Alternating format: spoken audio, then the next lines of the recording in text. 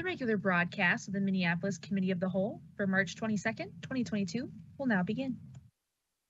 Good afternoon. My name is Linea Palmisano, and I'm the chair of the Committee of the Whole. I'm going to call to order our regular committee meeting for Tuesday, March 22nd. I'd like to note for the record, this meeting has remote participation by council members and city staff as authorized under Minnesota Open Meeting Law, Section 13D.021, due to the declared local state of public health emergency. I will also note that the city will be recording and posting this meeting to the city's website and YouTube channels. This meeting is public and subject to the Minnesota Open Meeting Law. At this time, I'll ask the clerk to call the roll and clarify the presence of a quorum. Councilmember Payne. Present. Councilmember Wonsley Worlobah. Present. Councilmember Rainville. Present. Councilmember Vetaw. Present. Councilmember Ellison. Here. Councilmember Osman. Here. Councilmember Goodman. Present. President Jenkins. Present. Councilmember Chughtai. Present. Councilmember Koski. Present. Councilmember Johnson. Present. Vice Chair Chavez. Present. Chair Palmisano. Present. 13 members present. Let the record reflect we have a quorum. We have three items on the agenda today in addition to our reports of committees. Um, I'll begin with our discussion agenda, which has one item. It's the 2022 assessment report, and I'll invite our director, Rebecca Malmquist from the City Assessor's Office to speak on that item. Welcome.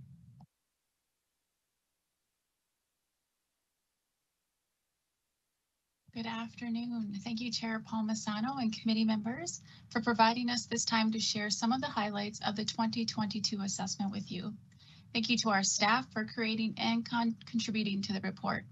I would like to note that we have members of our leadership team with us here today, Nancy Wojcik, the new Director of Assessments, Brian Keyser, Chief Appraiser, and Brian Messer and Tim Ulven, our appraisal supervisors.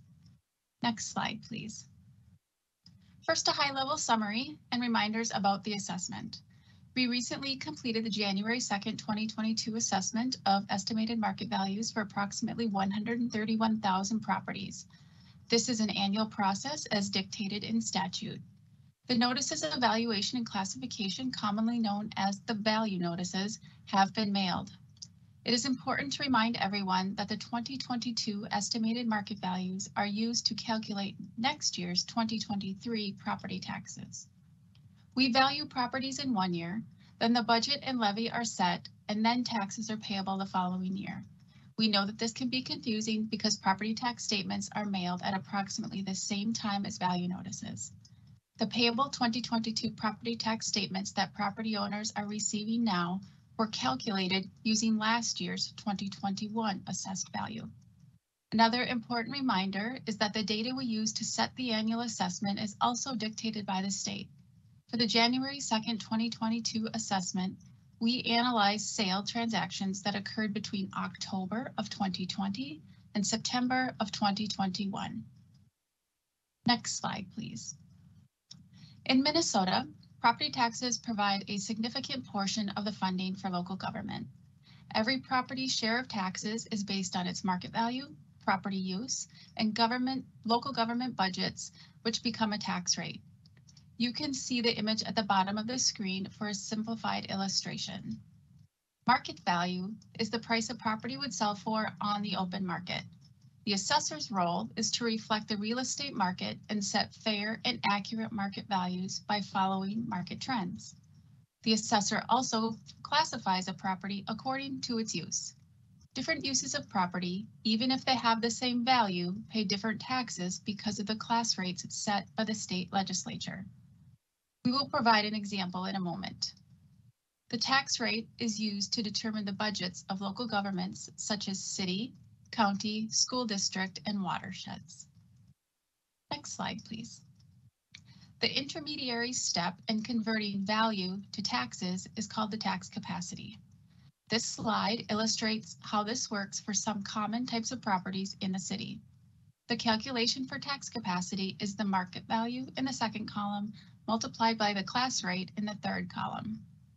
For example, as you can see here, a residential property on the first line and a commercial property on the bottom line, both assessed at $300,000 will pay different taxes. And that is because the class rate for a residential property is 1% and the class rate for a commercial property is 2%. As a result, a residential property will pay approximately half the property taxes of a commercial property. I must note that this is a very simplistic model illustrating the tax calculation. There are many more complex factors that affect taxes, such as special programs like a homestead, state general tax, and fiscal disparities.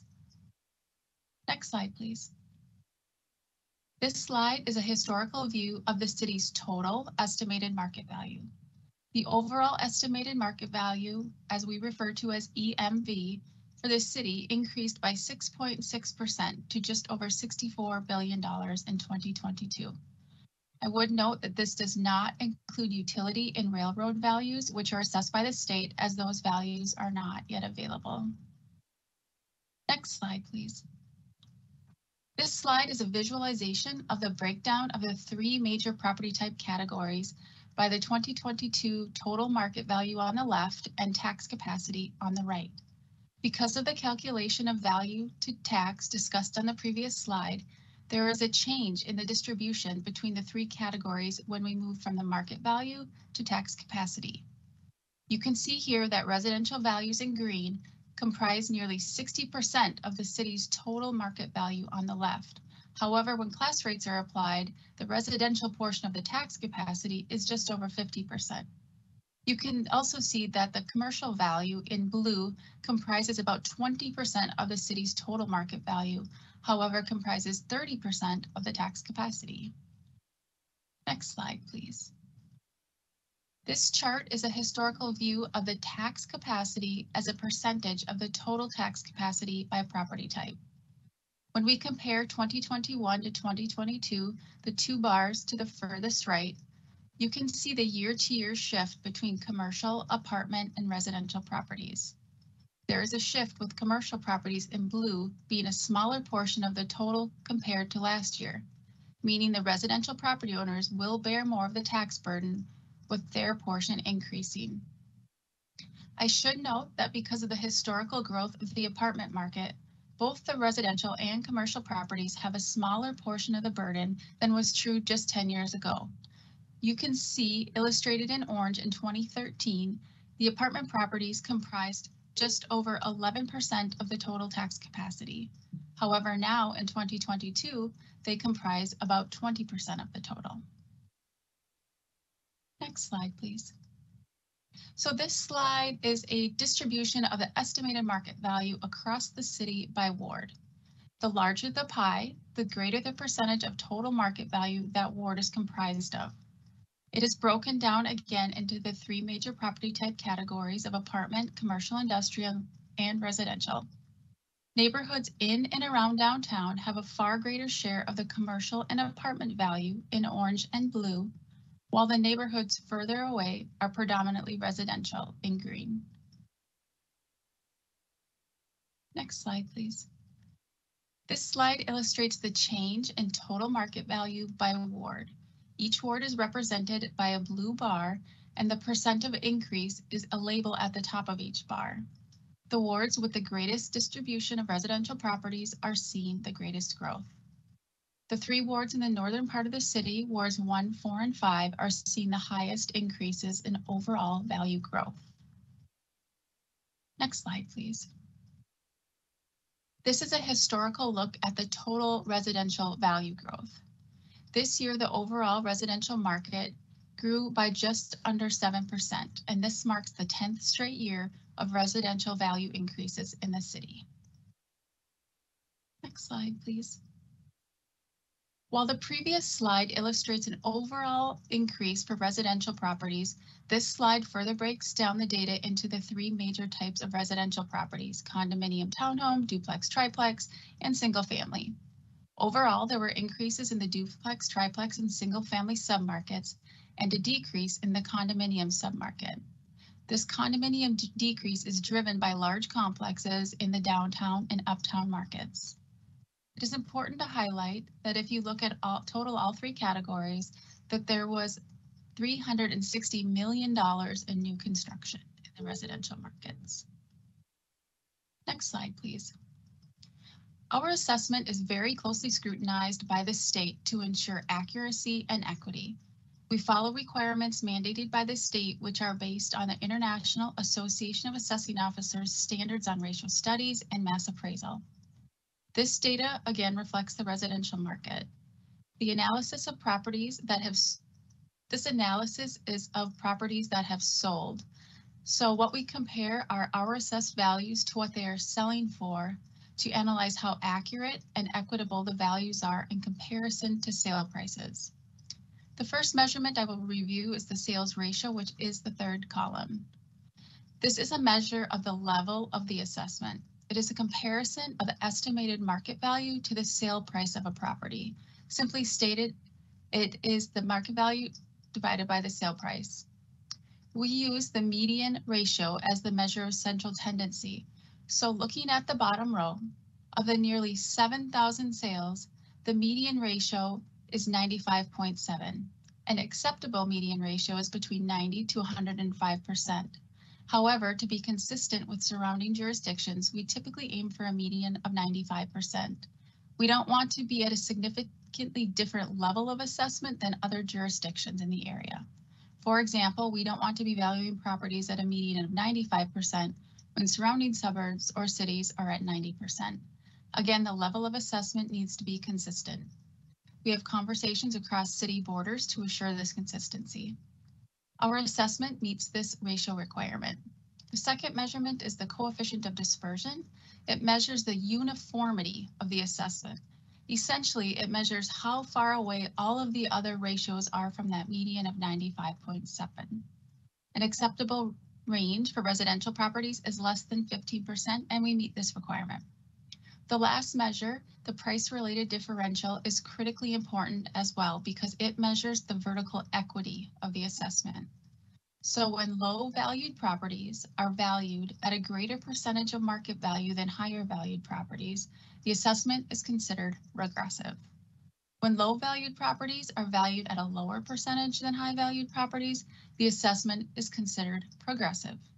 Assessments for tax purposes should be neither progressive or regressive, and our assessment is within, within the acceptable range for the PRD.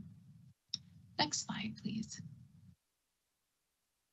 This is a historical look at the required statistical measures that our assessment is judged for accuracy and equity. I would like to point out the significant increase in sales count in the second column with a 34% increase in sales from 21 to 2022.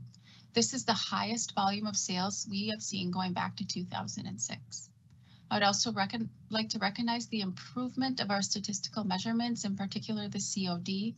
It has been a focus of our team and continues to improve. And as I mentioned, our assessment is closely scrutinized by the Department of Revenue as they calculate, watch, and analyze these each year as we do. Next slide, please. This slide illustrates the comparison of the median sale price, the blue line, to the median market value in orange. These lines should be close together and going in the same direction, and you can see that this measurement has also been improving.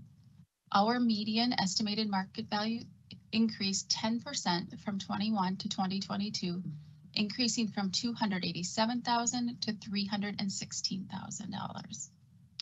Next slide, please.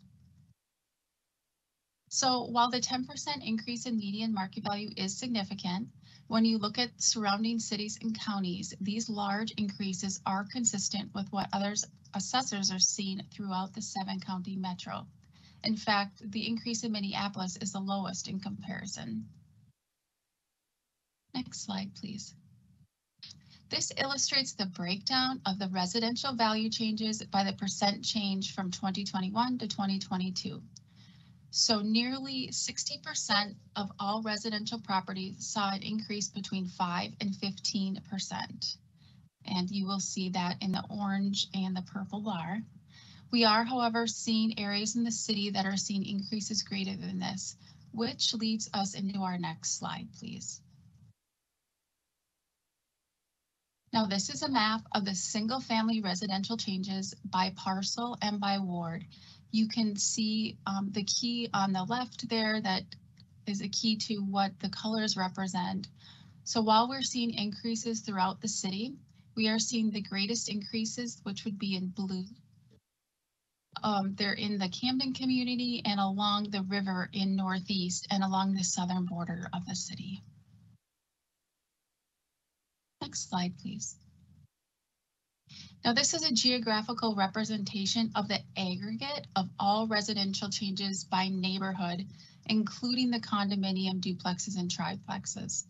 So while we're seeing increases in the single family market, as I referenced earlier, we are seeing decreases in the condominium submarket in the downtown and uptown neighborhoods, which you can see here in orange on the map. Next slide, please. Again, this is a ward comparison of residential values in the same statistical measurements we discussed earlier. The columns to the left are the 21 and 22 total market values, the amount of new construction, and the net change in total value. Then moving across the chart is the median market value, the number of sales in that ward, the median sale price, as well as those statistical measure, measurements. What I want to mention here is the range of sales ratios is 95.3 to 97.2%, indicating that our level of assessment across the city is very consistent. Also, the COD or coefficient of dispersion, which is that measure of uniformity across the city ranges from 5.9 to 7.7, indicating there are uniform assessments across the city as well. To achieve this kind of consistency, larger increases were needed in some neighborhoods because the sale prices were higher than our former 2021 assessment. Next slide, please. Pivoting to the commercial market. Separating commercial from industrial, you will see overall increases in both markets. And if you look at the last column, however, the industrial market saw a much more significant increase of 14.2% compared to the commercial market increase of 2.8%. Next slide, please. This is the historical look at commercial industrial market values. And while we saw an overall decrease last year, the commercial industrial markets as a whole is trending up again. The aggregate market value of $12.7 billion is approaching the pre-pandemic total of 20 of $12.8 billion from 2020. Next slide, please. While overall the commercial industrial market is trending up again, not every geographical submarket has completely rebounded.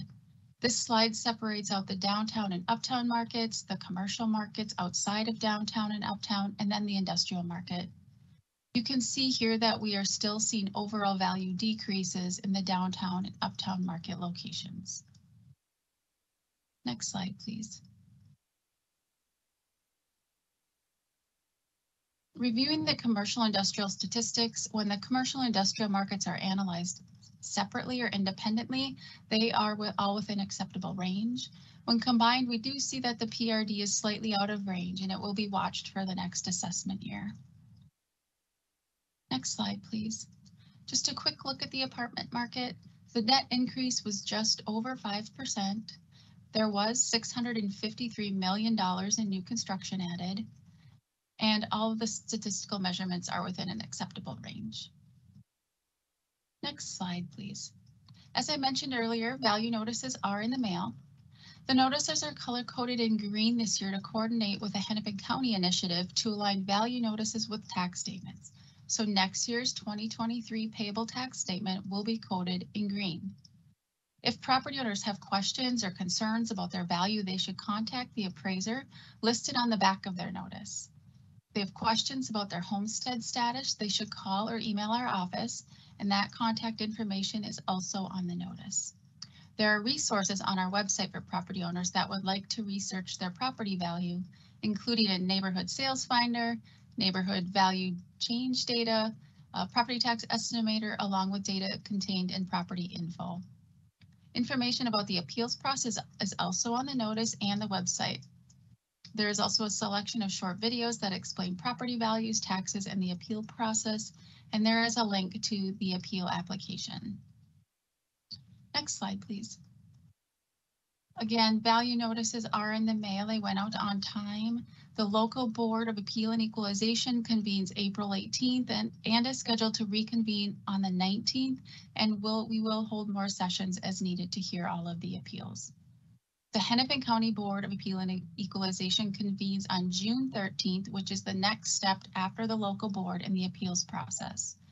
In addition, we have presentations today and tomorrow to the NCR-led neighborhood association meetings. And we are planning to start individual neighborhood meetings as well, with Victory being first this week. And we plan to give a presentation to the Board of Estimate and Taxation in April. We definitely welcome all opportunities to meet with property owners and taxpayers. Next slide, please. As we look to the annual quintile revaluation that we need to complete each year, as, as dictated in statute, we have to look at every property once every five years. The neighborhoods in green will be reviewed by our residential team this year. We have just over 23,000 residential parcels to review and they will be out in the field. You will receive a letter if your property is due for that. Um, they'll be in the field. If you're not home, they will leave a tag to let you know that they were there. And we will provide that information for council to notify our constituents as we get closer to the date. And that concludes our report. In closing, thank you again for your time and a huge thanks to our team in the assessor's office for helping compile this report. Thank you. Thank you. As I um, wait to see who gets in queue, uh, I will remind colleagues um, and the public that property taxes are certainly an, a major part of our general fund. I think this is a, a really good and important explanation that shows our current tax environment and how that's changing. And thank you for that long look uh, or look back um, as to how we've where we've come from, where we've been. We have a question or comment from Councilmember Goodman. Thank you, Madam Chair. Not as much a question as a couple of comments. Thank you, Ms. Malmquist, for your report. Um, this report tells us a lot about what's happening in the city. And what it tells me is that we have not done enough to help grow the city. This screams to me, we need more housing of all types. And the reason for that is because the biggest driver of property taxes for people who are actually living in the city right now is the places where there's higher valuation.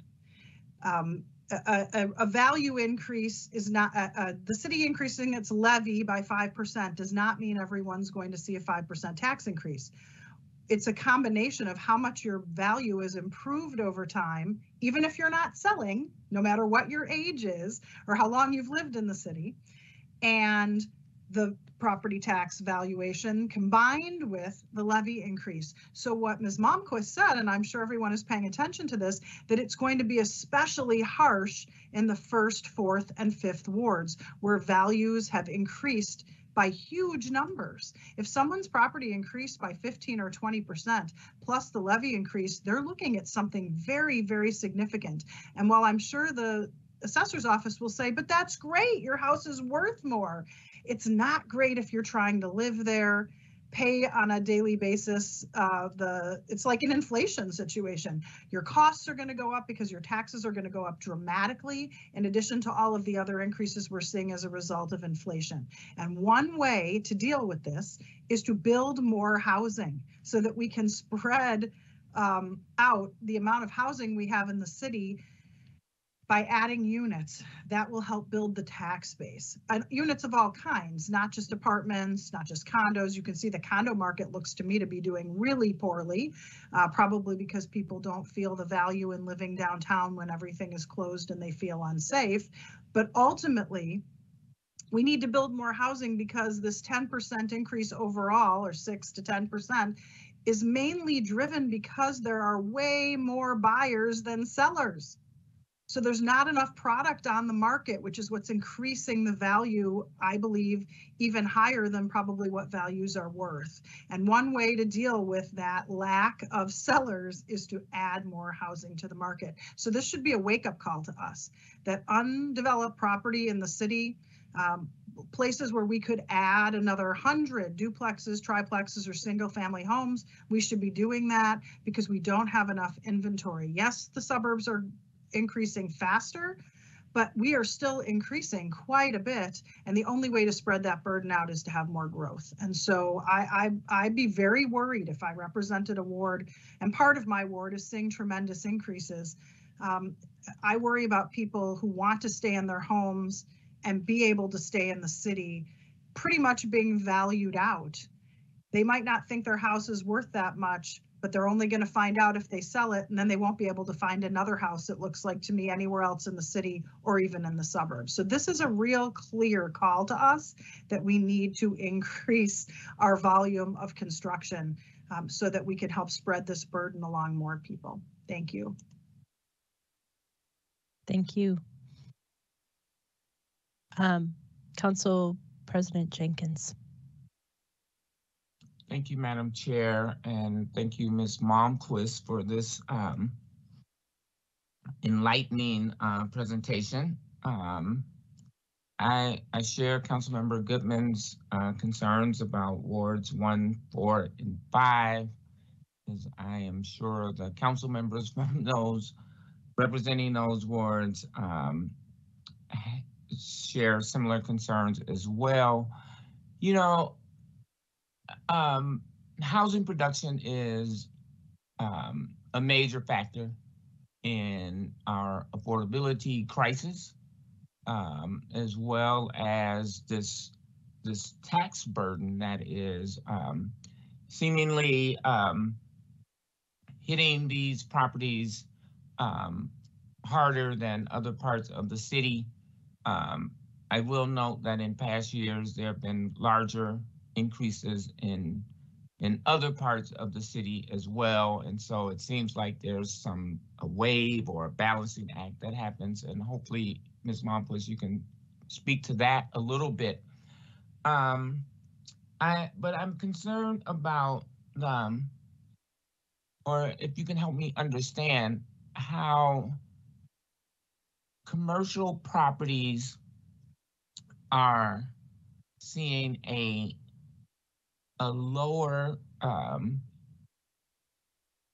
increase and and I, I seemingly have gotten information that it's because of the vacancies that are in the pandemic, but I'm not sure how that relates to um, lowering their property taxes if, you know, they have lower um, vacancies in those buildings. So hopefully you can help me try to understand that as well. And then to the point that um, Council uh, Member Goodman was making, um, many of the homes in this in those three wards, one, four, and five, uh, particularly four and five, are um, owned by um, multinational investor groups, um,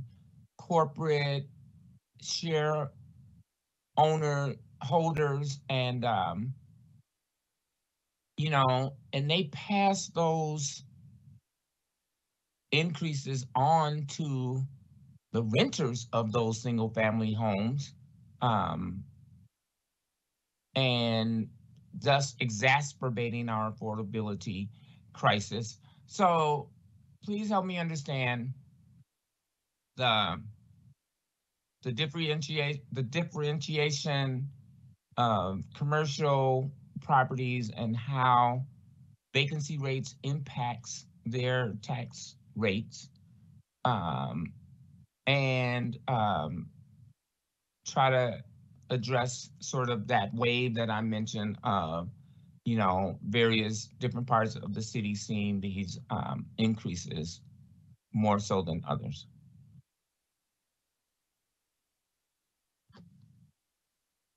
Madam Chair and Council President Jenkins, thank you for those questions. Um, I think I would, uh, if I can first speak to the commercial market and um, what we're seeing as far as actual still some decreases in those markets. So there are three different approaches to value. In addition to sales transactions, we do, there's an income approach which includes um, rent and vacancies. And so we do have to look at um, what is really happening with um, the office buildings that are seeing leases come expired, leases expiring, maybe not able to fill those spaces again. So there is more vacancy on the market. And we truly don't think that we've seen the end of what this story is going to be as a lot of those leases are five or 10 years. And we are going to see what's going to actually happen if somebody's going to fill those spaces. But if a building is significantly um, suffering from some vacancy issues, that does play into the valuation of that property. So I hope that helps a little bit. I mean, we do look at the sales data that comes in. We don't have a lot of downtown sales data. Um, and we've been told over and over again that there is just a lot of money in the market right now and property investors need to invest that money. And so they are paying in some inflated prices based on what the data is telling us. But we also have to look at what's truly happening within each of the buildings across the city. So does that, does that same axiom hold true for vacant residential properties? It would, it would still, duplex sits empty for two years, will they have lower taxes? their valuation may be lower based on the fact that they are struggling with some vacancies. But we would want to know what, what those reasons are. We'd have to analyze that and analyze how that would play into a sale transaction as well. What, what would a buyer looking at that vacant property be willing to pay for that? And why is that property vacant? And so that's getting fairly granular into the analysis that each of our appraisers do when they verify all these sales to make sure that we fully understand what's happening with these transactions so that we're only using the true market transactions to help tell the story and we're not inflating values when we shouldn't be. And so I would just speak to the the wards one, four, and five, and then I think I spoke about the Camden community, and then along the um, shore, and then northeast, and then the southern border of the city. Um, there's there's just been great demand in those areas, and that is really what's been pushing. Like Council Member Goodman brought up that you know it is a seller's market, and um, people are paying we've had bidding wars and all of that again, so that is driving the market in some of those areas for sure. Uh, let's see, can you restate, I really apologize, can you restate the wave that you asked about? The, Right, so it, it seemingly, you know, in, in my first term, um, property values in Southwest, uh, Minneapolis were much higher and, and valuations and in the wards that you mentioned were much lower. Uh, and then subsequently, um, in, in, uh, following years, you know, cent- the central city, Ward eight, um, Ward nine, would see significant increases and and those seem to be going down now um ward wards one four and five. I mean how how do we kind of i mean beyond the housing shortage et cetera et cetera um is there any rationale for why we're seeing these sort of increases and decreases sort of spread around town well, everything that we say is location, location, location. And then where are there affordable, the affordability of where, where properties are still at an affordable level, and that is in our one wards one, four, and five right now. And so that is what's driving um, the property value increases, particularly in those areas.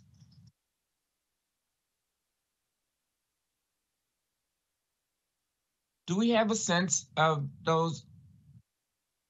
You know, I, I think I mentioned that in those particular wards, one, four, and five, there seems to be a lot of corporate, do we know the uh, corporate um, entities purchasing these um, single-family homes and, and then renting them?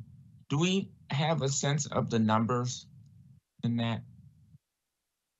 At the, at the moment, I don't, but we can definitely put that together and share that. As Thank far you. as how many there are out there that are buying, typically they may fall under a couple of different names, but we're learning them better, learning the players better and how many properties they are buying and renting. Then we could tie that in with the rental data to get you what you're looking for, I think. Yeah, no, that would be some really helpful information. Thank you so much. And thank you uh, and your team for um, doing this really um, challenging work and um, very efficiently. So I appreciate the presentation and um, all the efforts. Thank you. Thank you. Councilmember Goodman.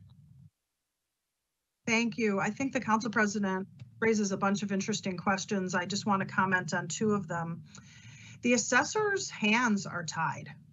I think it's important to remember that her department's not really one making policy, they're following state law. So we don't have the ability to say, Ms. Malmquist, turn a blind eye to the Bryn Mawr neighborhood and pay a lot of attention to North Minneapolis. We're actually required under law to value to 95% of actual market value. And I believe the assessor's office does a tremendously good job of that. Um, and so it's not like we could do anything about this. We have to do things about it on the policy end to try to um, decrease the problem. And that's why I talk about construction. Without question, the demand for homes under $300,000, maybe under $400,000 is bigger than we've ever seen. You know, the pandemic, people don't want to live in smaller apartments or even condos. They want to move to a house. And so that lowest level of the market, and it almost makes me sick to suggest that a $400,000 house would be the lowest level of the market. But the places where those lower level houses are, are where the greatest demand is. It seems these days regardless of what neighborhood. I'll also note that some of these parts of town had lower valuations due to things like tornadoes and mortgage foreclosures and uh, properties that were valued in the $300,000 range fell to $60,000. So what they've been seeing is a steady increase over time, and that's scary to people. And it- it's scary to me, to be fair. I also want to talk about income-based valuation. I know I'm really geeky and I apologize for this, um, Councilmember Palmisano, but income-based valuation is exactly why we implemented the 4D tax program for affordable housing. Assessors were going into buildings and saying to landlords, well, you're only charging $1,000 for this apartment that on the market you could you could get 1500. So I'm going to assess your house based on an income-based valuation as though you charged full market value. And our policy action or reaction to that was to say private owners who have NOAH property and or affordable housing will get the benefit of the lower tax rate. And so this is the good appropriate way for us to work hand in hand with the assessor's office to try to determine what policies could help protect those who are being hit the hardest without um, calling out the assessor's office for purposely increasing people's values in order to increase taxes for whatever reason. Um, so I just want to note that when we saw that happen with affordable housing, we did something about it, and I would urge us to be thinking along those lines from a policy point of view in the next year. Thanks. Yeah, I mean, that was certainly the point of my questioning to, to try to understand what potential policies we may be able to employ. So yeah, thank you for pointing that out. Thank you. I'm not seeing anybody else in queue. Um, you know, assessors don't get much recognition, um, but Ms. Malmquist, you and your team deserve a lot of praise for your care and thoughtfulness in being so accurate, your adherence to all of these principles that um, just keep you right in the calculated center of all of this. So thank you so much for um, your efforts. I hope you'll pass our appreciation on to your team. We will do that. Thank you so much for your time and your support. Uh, We are in the, the heat of valuation calls and talking with taxpayers and helping educate and provide information about what's going on in the market. And so if you have any constituents that you, that need assistance, please send them our way and we are happy to help and provide information about, you know, again, property tax relief programs that they may not be taking advantage of as well. So just want to provide people all their options. So thank you so much for your time. Thank you. Seeing no further discussion, I'll direct the clerk to file that report. The next two items on our agenda are part of our government structure subcommittee. So moving on to that. Uh, First up, item two is a report from Mayor Fry on his executive reorganization proposal as part of the new uh, voter-approved government structure pursuant to Charter Amendment Number 184. Um, I think I saw him join, so I'll invite Mayor, Mayor Jacob Fry to give us that report. I know that your time is somewhat limited, and this is just going to be a high-level overview. We'll have a more detailed opportu- uh, an opportunity to go into more detail at our next Committee of the Whole on April 12th. Welcome, Mayor Fry. Thank you, Council Vice President. You are right. This is somewhat limited. It is a higher level overview, but this is extraordinarily important nonetheless.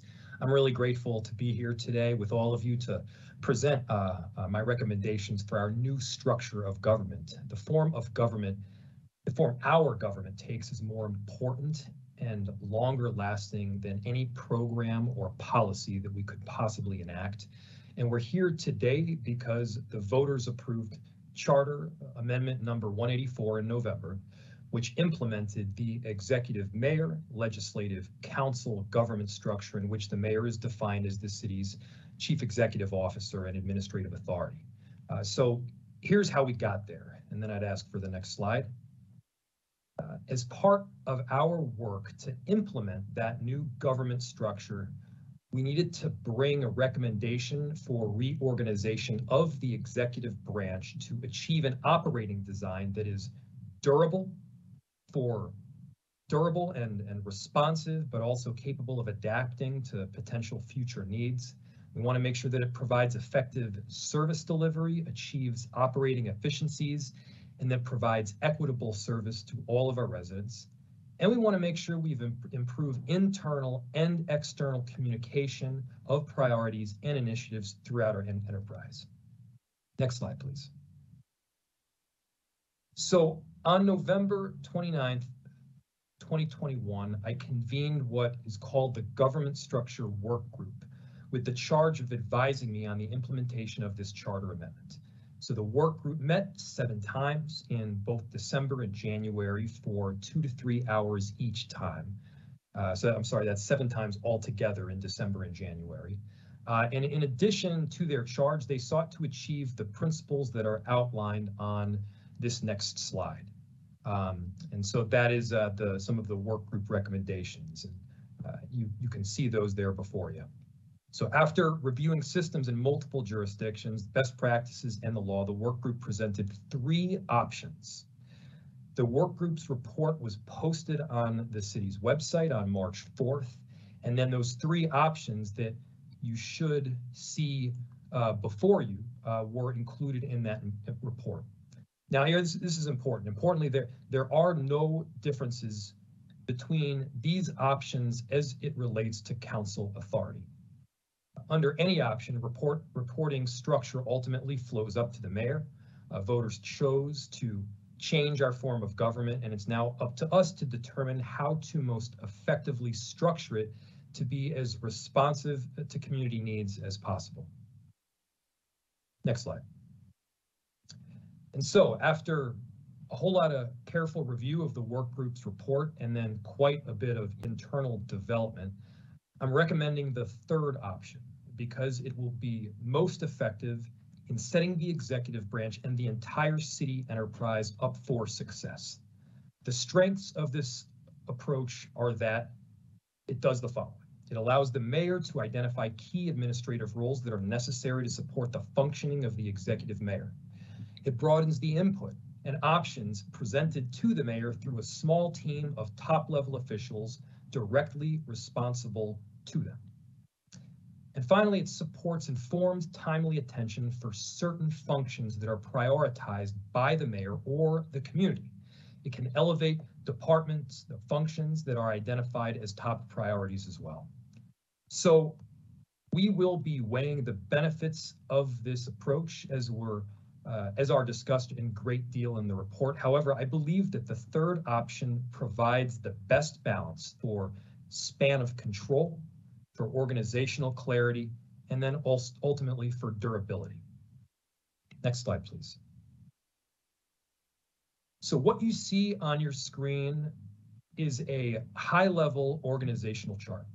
There are four direct reports to the mayor, a chief administrative officer, the city attorney, a chief community safety officer, and then the mayor's chief of staff. This proposed structure would ensure clear lines of authority, delegation, span of control, and then ultimately communication between these departments where at times we did have more of a siloed approach.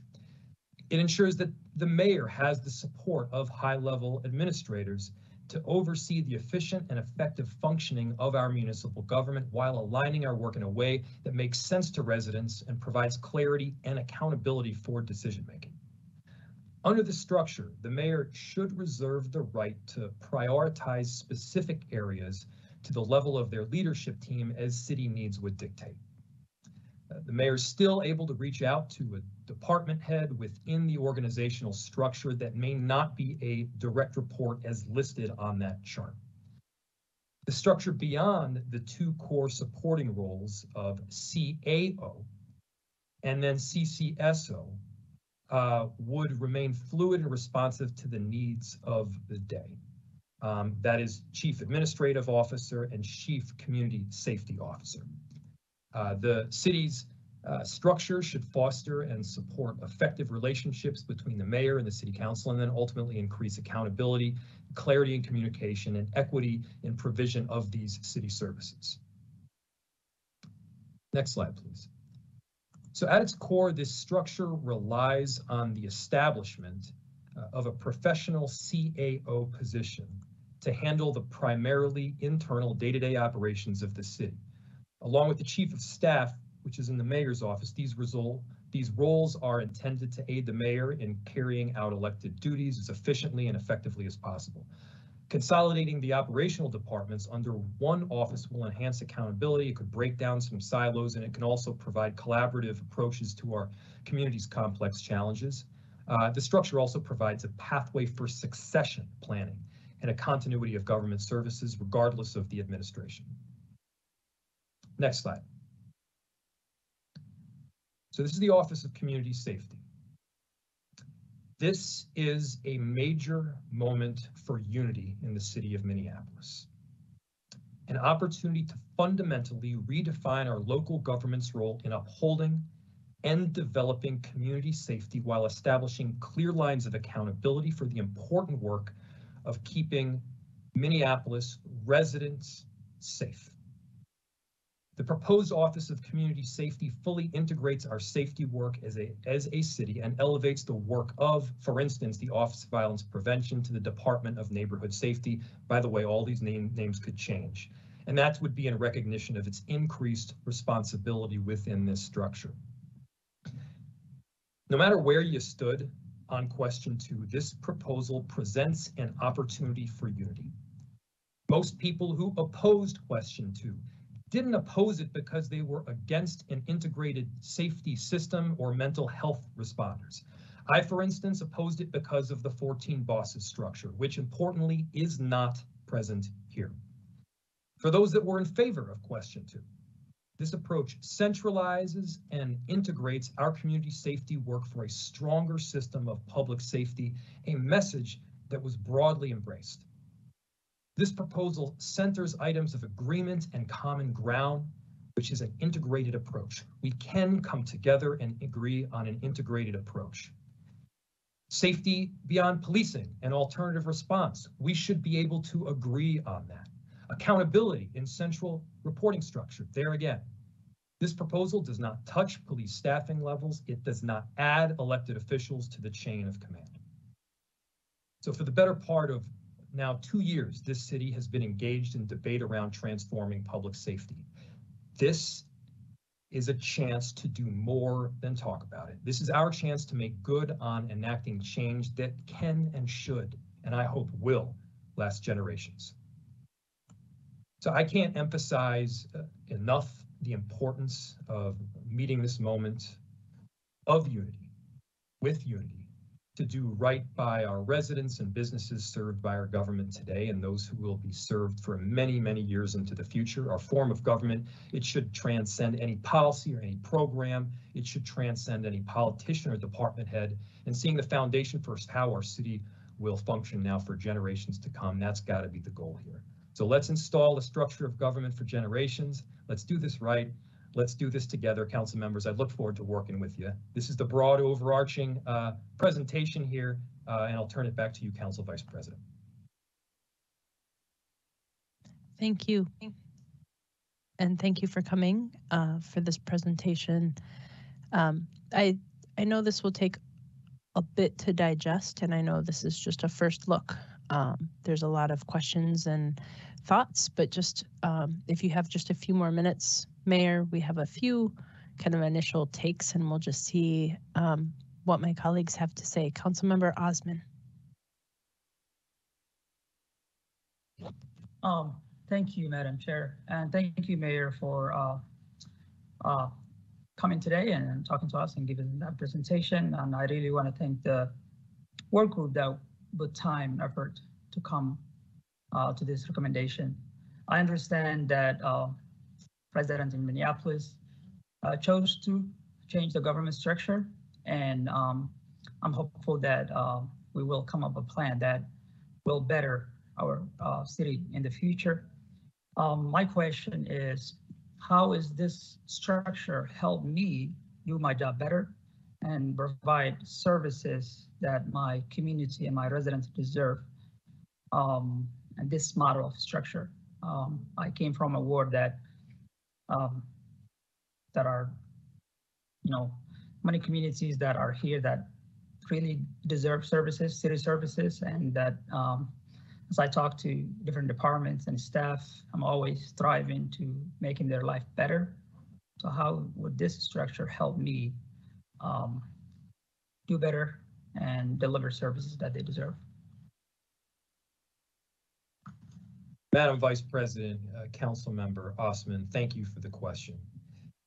What this structure would do is streamline city services, provide greater efficiencies, and make sure that there's there's uniformity in terms of transparency, accountability, and ultimately chain of command and direction.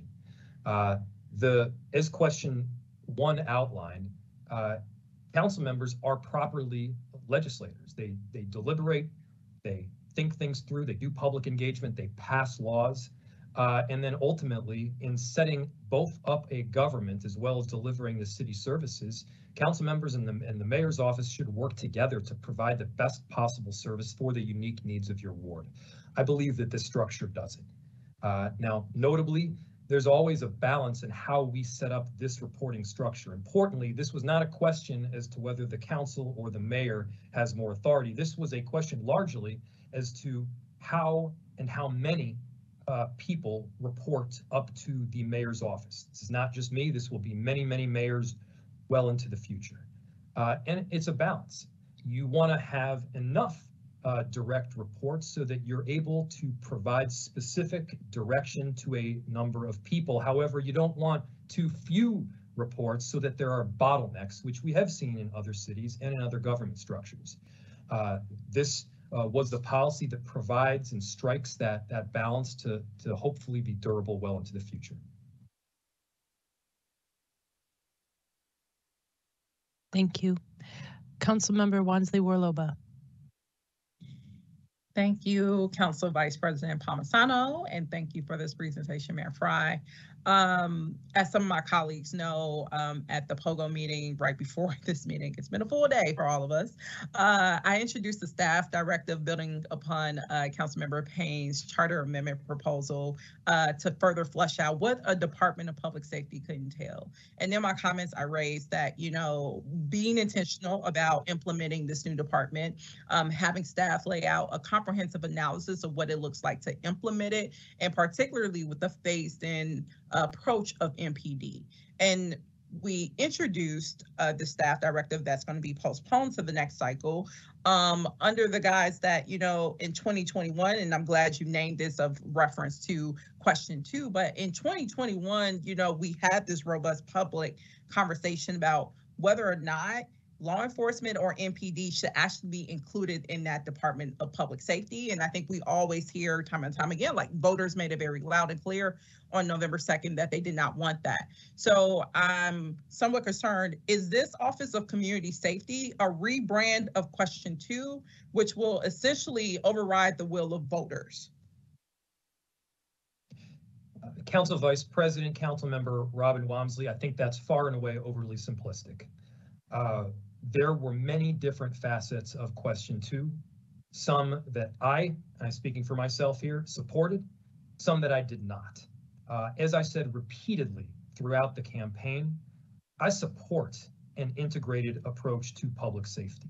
I support coordination between these multiple entities, be they mental health responders, the Office of Violence Prevention, the Office of Emergency Management, fire, or police. The coordination is essential. The pieces that I felt strongly uh, that were, should not move forward uh, was the 14 boss issue. This does not have that. And so, no, it is not the same as question two. I do believe that it takes items where there is broad consensus and it takes out pieces where there wasn't. Um, now, in terms of inclusion of police in the department, absolutely, I believe they should be included because this has to be a comprehensive approach. If we believe that police are a part, not the whole thing, but a part of a comprehensive community system, then we need to make sure that police officers and the department are collaborating and working with the other entities that are also providing public safety service. I've heard time and time again from residents throughout our city, I've heard internally the issue of having MPD off on an island, siloed off from the other work.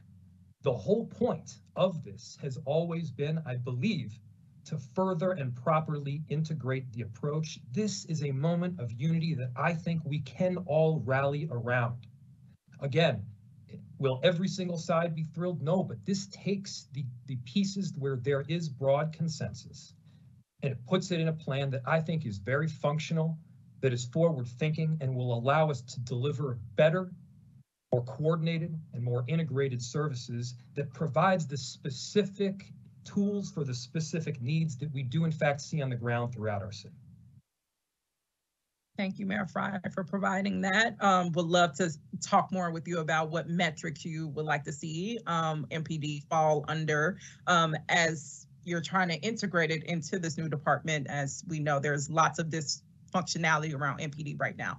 Um, I'm glad you referenced the point about the 14 bosses because under this proposal, it seems like city council would still maintain legislative authority over all departments that are included in this new, you know, Office of Community Safety, except MPD.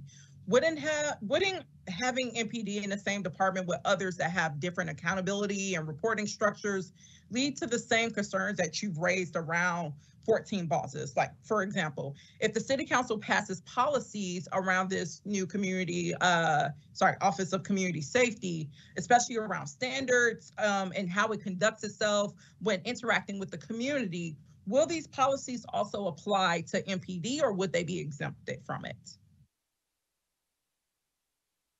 Council Vice President, Council Member Wonsley, uh, first off, I, I don't want to uh, speak to the conclusions without consulting and getting the directions specifically from the city attorney. Uh, all of these are items that I believe that we are going to need to be working out. Does council have general legislative authority? Of course, that is the case. Does the charter itself explicitly provide control over MPD to the mayor? That is also the case. So, you know, I, what I would say is, is we should talk with, with the attorneys who, and, and the clerk who have a deeper understanding of, of the charter itself, just to make sure that I'm not giving you any incorrect information here. Thank you, Mayor Frey. Uh, Another question, because your answer basically confirms that this new department that will include MPD and other charter departments, like it would basically not allow for a uniform application of policies because city council does not have legislative authority to change the policies over MPD. So it, it does seem like that kind of conflicts then with your prior comments. I'm not sure how my prior comments conflicted with, with anything, Councilmember Wonsley, uh, but I do think we should talk to the city attorney to make sure that we're getting this right. Awesome. And again, just wanted to know, this is why I, you know, move forward with including that staff directive because that staff directive would have had the opportunity to, it still does, um, to actually do an analysis of all the departments, including getting counsel from our, you know, city attorneys around we can, how we can actually have a good implementation process, which doesn't seem to be provided in the context of this proposal. Um, but just for last sake of clarity, can you provide more cl- uh, clarity on the reporting structures of MPD within this new uh, Office of Community Safety? Basically, who will MPD report to? Uh, First, what you just said is entirely inaccurate, Councilmember Wonsley. So this is a proposal that we are providing to you now. And then over the next several weeks and months, not only there will there be additional analysis, but we can also work out the details. We are providing to you in transparent form in a public way the basics of how I am recommending the new structure of government. A lot of that still needs to be worked out. Um, and so like your staff direction doesn't have any metrics, doesn't have any plan, doesn't have anything more than the basic proposal, we have provided a, an extensive report provided by the work group, and we've provided the basic framework through which we're looking to get set up. But yes, there are still some details to be set out. I think that is entirely consistent. Just to be clear, this yeah. is really meant to just be a real high level overview. So I want to just allow us to, you know, touch high level and I'm going to move on so that we get to the other two in queue before the mayor has to leave. Councilmember Oh, Chavez. quick, uh, Council Vice President, just that last question, um, because I didn't ask for accuracy of the, the staff directive or implementation of the department. I asked if, who would be reported, like the reporting structure of MPD, and it does sound like Mayor Frey has some thoughts on that based off of what he's presented. Um, yes, it's clear to me that this structure also preserves the position of chief of police uh, and that they, this position reports directly to the mayor and will continue to do so. Is that correct, Mayor Frey? That is correct under the charter. There is a proposal here on the page which you can see, which has an, an individual uh, that could ultimately manage and coordinate between the separate entities below. Um, again, I hesitate to, to, to give spe- explicit, uh, an explicit case on the, on the charter just because I think we need to make sure that, that it's accurate. I don't want to say something that is inaccurate to you. Thank you. Councilmember Chavez. Yeah, thank you, Mayor Frey and staff for working hard on this. I know it's not easy work, so I do appreciate that. Uh, I do know that the ninth ward, only thirty-seven percent of my ward voted in favor of this new government structure. And part of that is because the complexities of creating a new government structure can and will be. I know that I represent the most diverse ward in the city. It is very immigrant heavy, has the biggest undocumented community in the state, the biggest Latinx community in the entire state, a growing East African community, and the biggest urban indigenous community. And part of that is because they don't know what this new government structure will be and the implications of racial and immigrant justice that needs to be implicated on this. So my question, I have two of them. What racial justice analysis or work have we done to make sure that this specific government structure as we move forward, or what are we gonna do moving forward to ensure that people that live in my ward specifically and of wards across the city that are immigrant majority or people of color majority aren't being left behind by new government structure that can leave people behind? Council Vice President Linea Palmisano, Councilmember Chavez, uh, one of the key pieces that we were looking to enact through this reporting structure uh, was to ensure that services could be provided in equitable fashion across the city, not just to where most complaints were issued, not just to those that had a council member that perhaps had more ins with city staff or was more willing to go beyond the department head to get what they wanted.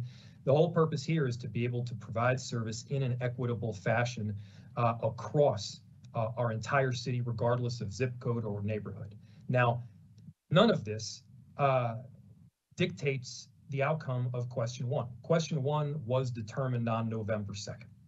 Um, so to the extent that there are disagreements about that, those disagreements are fair, but those questions have been asked, those questions have been answered, and now it's our job to, to move forward with a reporting structure uh, that does flow up to a mayor uh, to ensure that services can be properly met. Um, so now there's going to be a lot that happens uh, over these next several weeks uh, through April 12th, and we'll also need to be patient. Uh, we are changing what has been a like 100 year government structure. Uh, inevitably, there will be bumps. Portions of this will be clunky, uh, but you know I make think it makes sense to to get this right.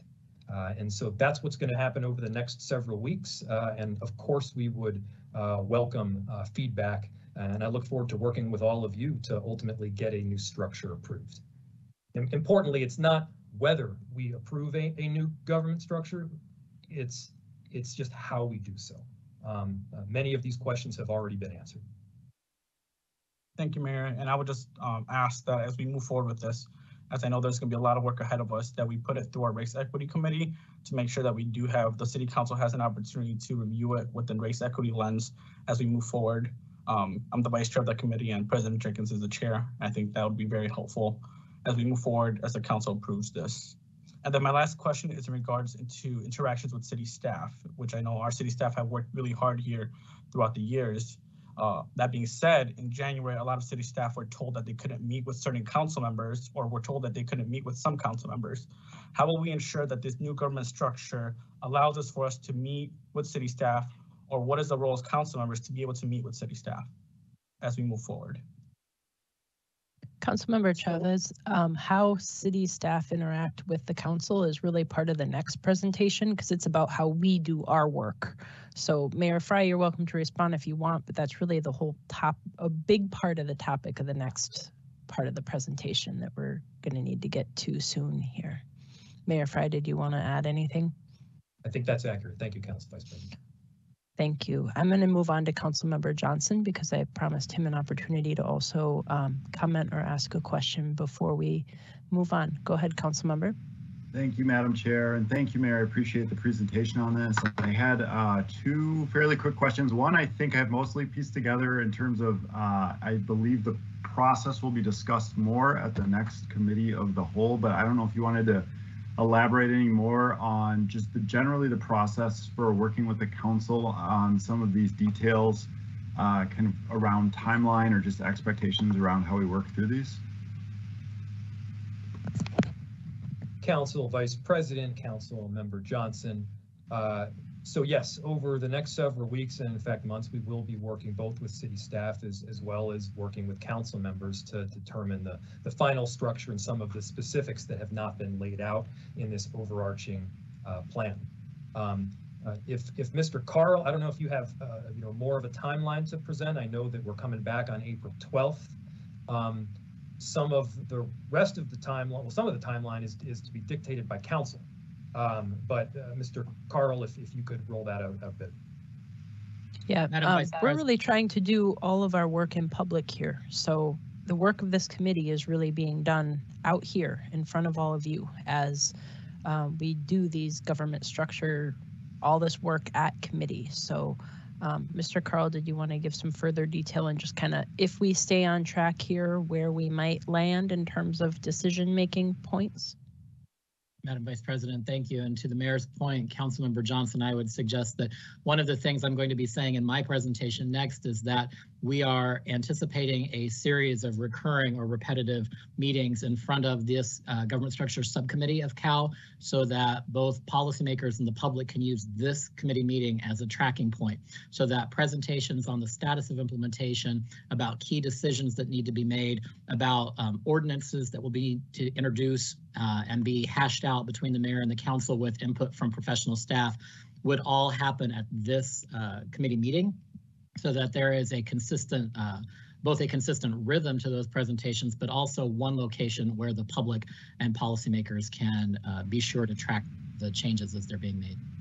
Thank you. I appreciate the answer on that. And, and that really leads into my uh, other question, which I think is probably one of those details that will work out at a future meeting. But Mr. Mayor, I was just curious when looking at the reporting structure. Uh, I know that right now we have a lot of uh, hearings, for instance, on appointments for department heads. Uh, this would be you know, putting a lot of those department heads uh, today that we have hearings for under uh, one leader or commissioner or director or whatever the title is. Uh, do you anticipate that we would still have public hearings on those uh, department leaders for some of these large departments, or is that a detail TBD based off of further refinement and conversation? Council Vice President, Council Member Johnson, it, it's a good question, and on that topic, I, am not anticipating anything. Uh, in other words, uh, I think that is a topic that we all need to kind of go through as we figure out the best way to set up a new structure of government. You know, you want to depoliticize a lot of these decisions. You want to give as much uh, oversight and an ability to make timely and efficient decisions to some of these department heads as possible. And at the same time, I understand the council has a role of oversight. Uh, and so let's let's work together on this. That would be my ask. Sounds good. Thank you. Thank you.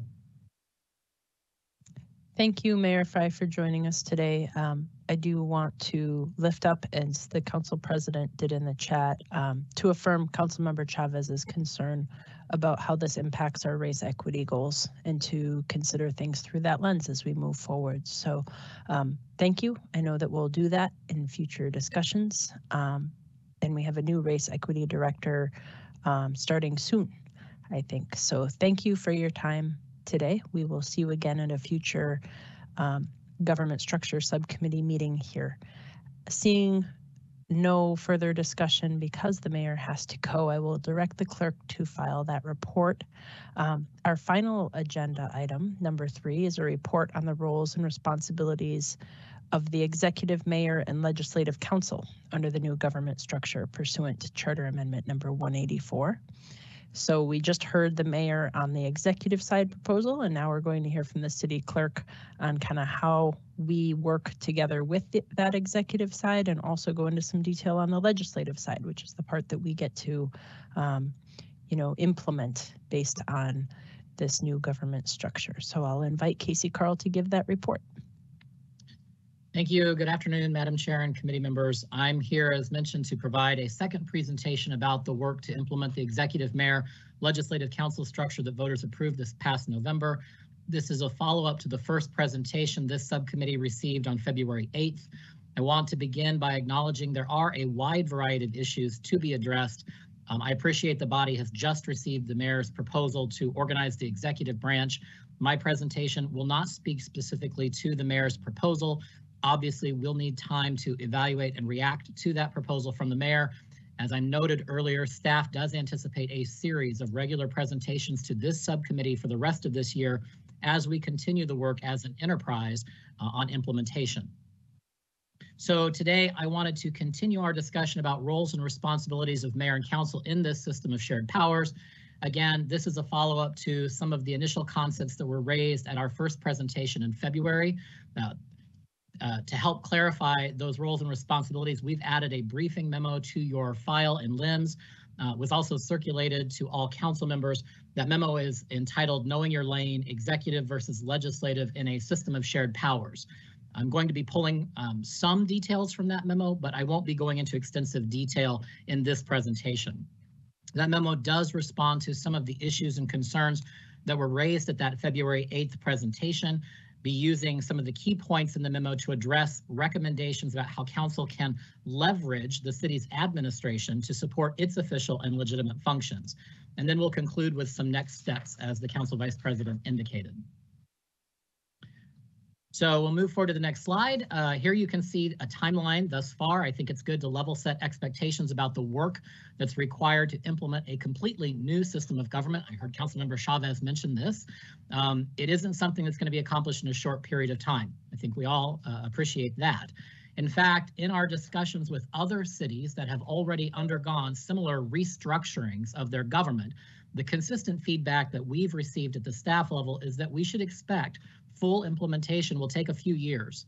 Uh, while a majority of the changes, the structural changes, can certainly be completed in the first year, it is inevitable that we'll be addressing implementation over many years, as there are some things, some decisions, and some actions that the government only takes up every few years.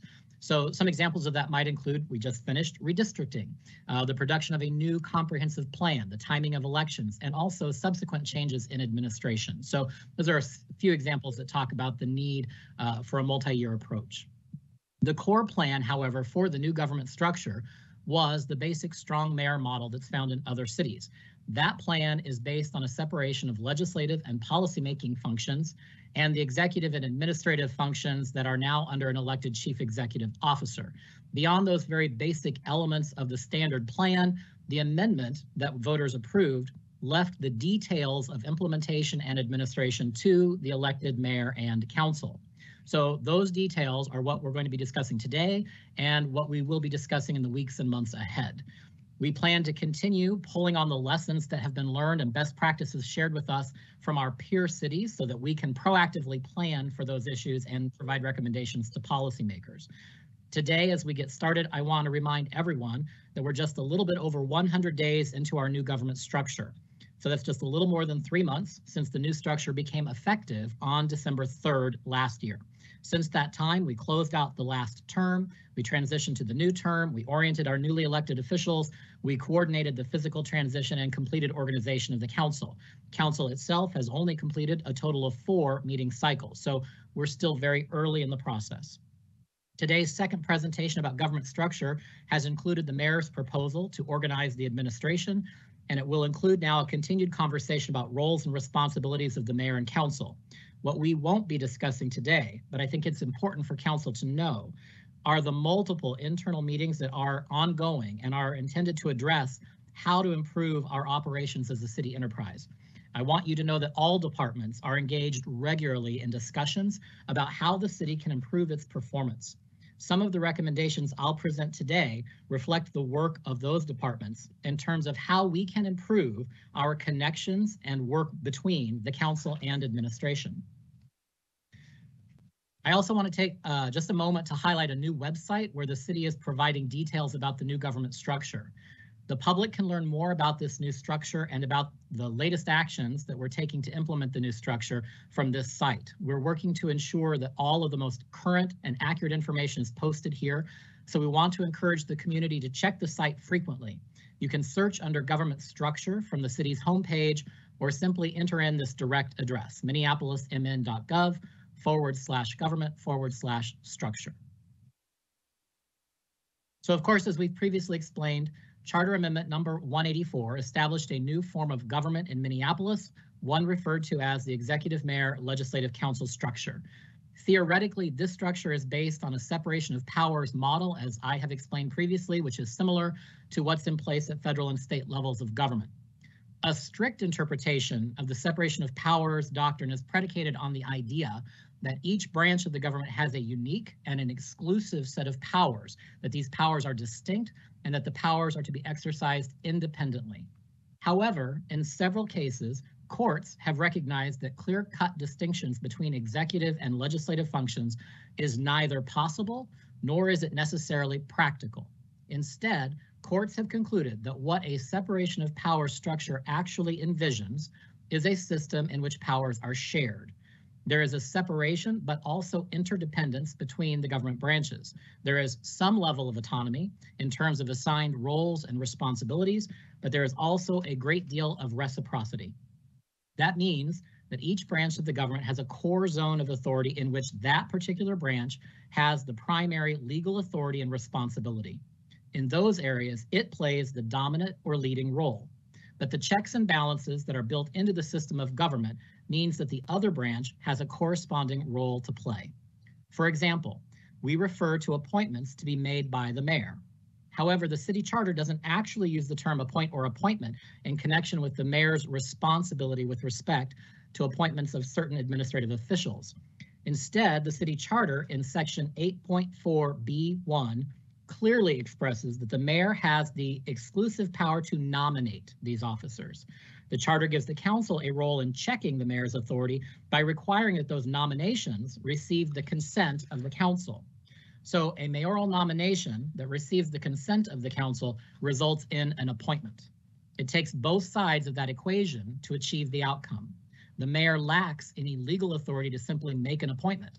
However, as is true in almost every case, where the executive fails to act, the council, as the legislative governing body, may, in certain circumstances, appoint those administrative officials even without a nomination by the mayor, and that's provided in the charter. It's a key point for us to remember. The ultimate and final legal authority of the entire city is vested in the city council. The council has certain expressed and implied powers and authority under state law, under city charter, and under our local core codes, ordinances, and policies. It also holds all residual power that's not expressly assigned to another elected official, an officer, a department, or a board or commission. In other words, the basic assumption is that the council holds final authority for the city government except where the law specifically delegates or assigns that responsibility and power to a different officer, to a different official, to a different board, commission, or department, which includes the mayor. But the mayor, the boards and commissions, and the departments have only those expressly delegated powers or authorities that are given to them under the law. As the League of Minnesota Cities has expressed in its handbook, the cornerstone of city government is the elected city council. Mr. Clerk, um, could I interrupt for a question or comment from Council President Jenkins?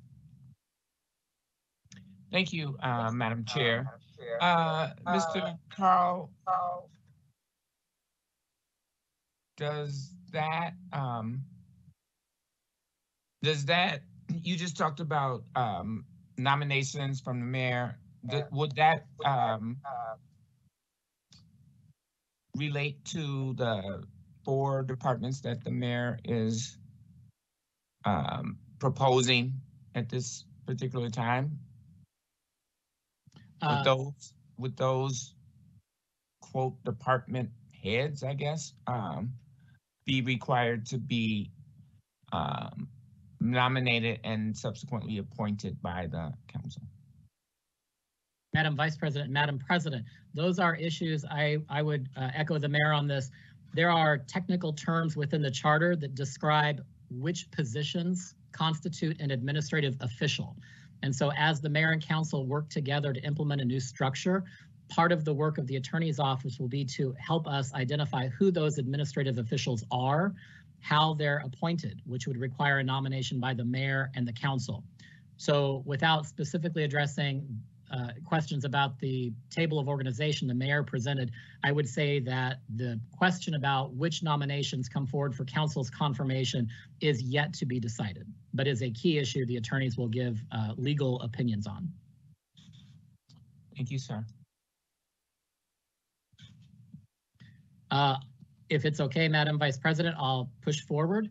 I was mentioning that the uh, assumption is that the city council is the cornerstone of city government, holds not only expressed and implied powers, but all residual powers that are given to the government under state law. That concept is covered in greater depth on pages two and three of the briefing memo that I mentioned earlier. The point I wanted to reemphasize here is that in almost all aspects of city government, power is not consolidated in either the mayor or the council. Instead, it's shared between them. And what the charter amendment did in creating this new form of government was to expressly give the mayor a defined role and certain core responsibilities, as well as the formal authority to discharge those duties as the city's chief executive officer. So the next slide has a chart that I want to share, and we've seen it before. Uh, this chart illustrates some of the core municipal functions and how they are separated in this new structure between the legislative council, which is displayed on the left, and the executive mayor, which is displayed on the right. And while it's a bit difficult to read the entire slide, you can see we've shown distinctions between the two branches with respect to representation, legislation and local policies, uh, municipal finance, operations and personnel, uh, land use, development and zoning, as well as continuity of government and administrative or emergency operations.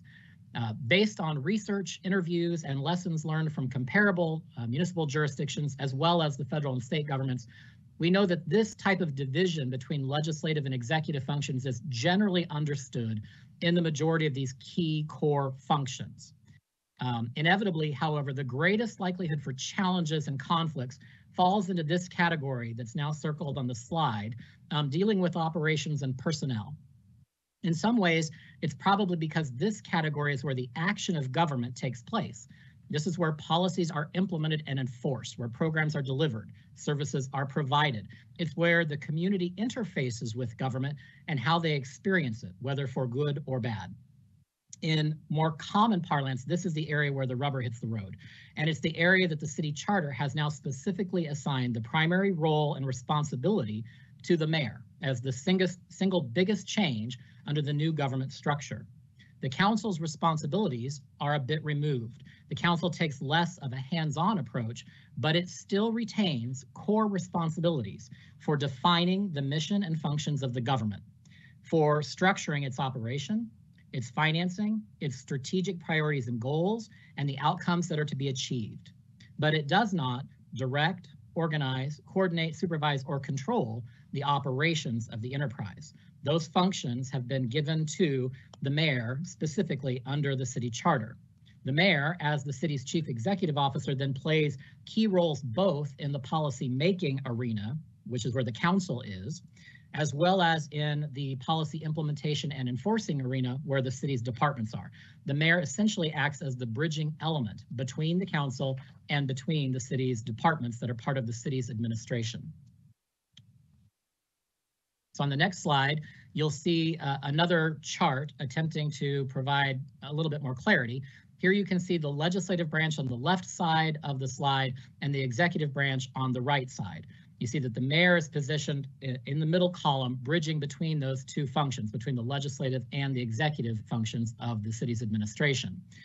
If we advance a bit, you'll see here in blue, the Legislative Council is focused primarily on policy making functions. And these are issues primarily addressed through questions starting with what? For example, what is the core purpose of the mission of government? What are the strategic priorities and goals for this term, for the next decade, for longer? What is the best operating structure for the enterprise to achieve those expressed goals? What are the values that shape this community and must be reflected in its public policies?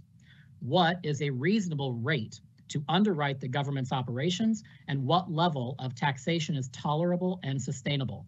And finally, what level of service is expected for the community and its various constituencies? The city's governing body, which makes those determinations, which is a combination of both the council and the mayor, have the responsibility for addressing these very broad framing issues that define and provide the highest level direction for the city government.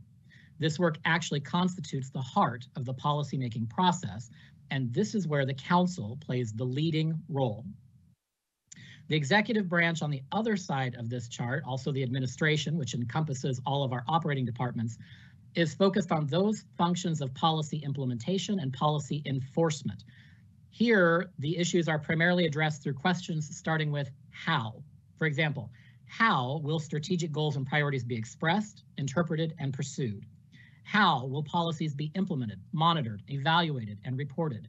How will departments be held accountable for performance from top leadership through to the frontline workers delivering city service? And how will city funds be allocated to finance operations adequately to the standards set by the governing body? In addition, questions that are addressed by the executive include the details of operations. This includes, for example, scheduling and time-related matters, where and other location-based issues, questions about cost and control and how much is appropriate to collect for city functions, and especially issues about the assignment of functions internally to various departments and divisions. And as I noted earlier, the mayor, as you can see, has uh, key responsibilities in each of these separate sides. The mayor is required under the charter to provide policy recommendations in the interests of the city's general welfare, health and safety and development, and to propose a financing plan to pay for the city's operations, which means that the mayor has an initiating role in the major policymaking functions of the city, but those are subject to the consideration and action of the council. The mayor, of course, has an ability to approve or veto the official actions of the council, which means that the mayor plays a strong counterbalance to the council's legislative functions. But that power of the mayor is checked by the fact that a supermajority of the council can always override the mayor in determining city policies and priorities. And once those policies or priorities are set, the mayor is responsible for the major work of implementing and enforcing the council's policies and decisions, for evaluating and reporting on the work of the city's administration, and for taking accountability for that performance. So in truth, it is the interplay of these three separate overlapping lanes, if you will, that is more relative to the actual system of uh, structure of shared powers under this new government structure. As this chart shows in the background there, um, the division between legislative and executive sides, between policy making and policy implementation, are very nuanced. Um, this distinction is very fluid. It's a matter of degree and gradation and not so much a stark contrast. This model attempts to diagram those separate lanes of legislative, executive, and operations from council, mayor, and to departments. But in this model, formal power tracks from the council on the left and then over and down through departments on the right. But you can see there's a curved line in the middle of that chart. And that curved line down the middle is meant to show that the dynamic interplay between those lanes is fluid. So council does take the lead and it plays the largest role in terms of the mission and policymaking functions. And the departments play the largest role in terms of administration and management. But council has a significant impact on administration and management, and the departments influence and help inform the mission and policy decisions of the council. So neither of those sides is completely divorced from any aspect of the total scope of municipal operations. These three separate lanes that I've presented in this model help explains the checks and balances back and forth between the council, the mayor, and the departments. And I hope what you can see is that all players are compelled to pursue a very close working relationship with the other actors. If they work at cross purposes, the result will be political infighting, government paralysis, loss of public uh, confidence, poor service delivery, and worse.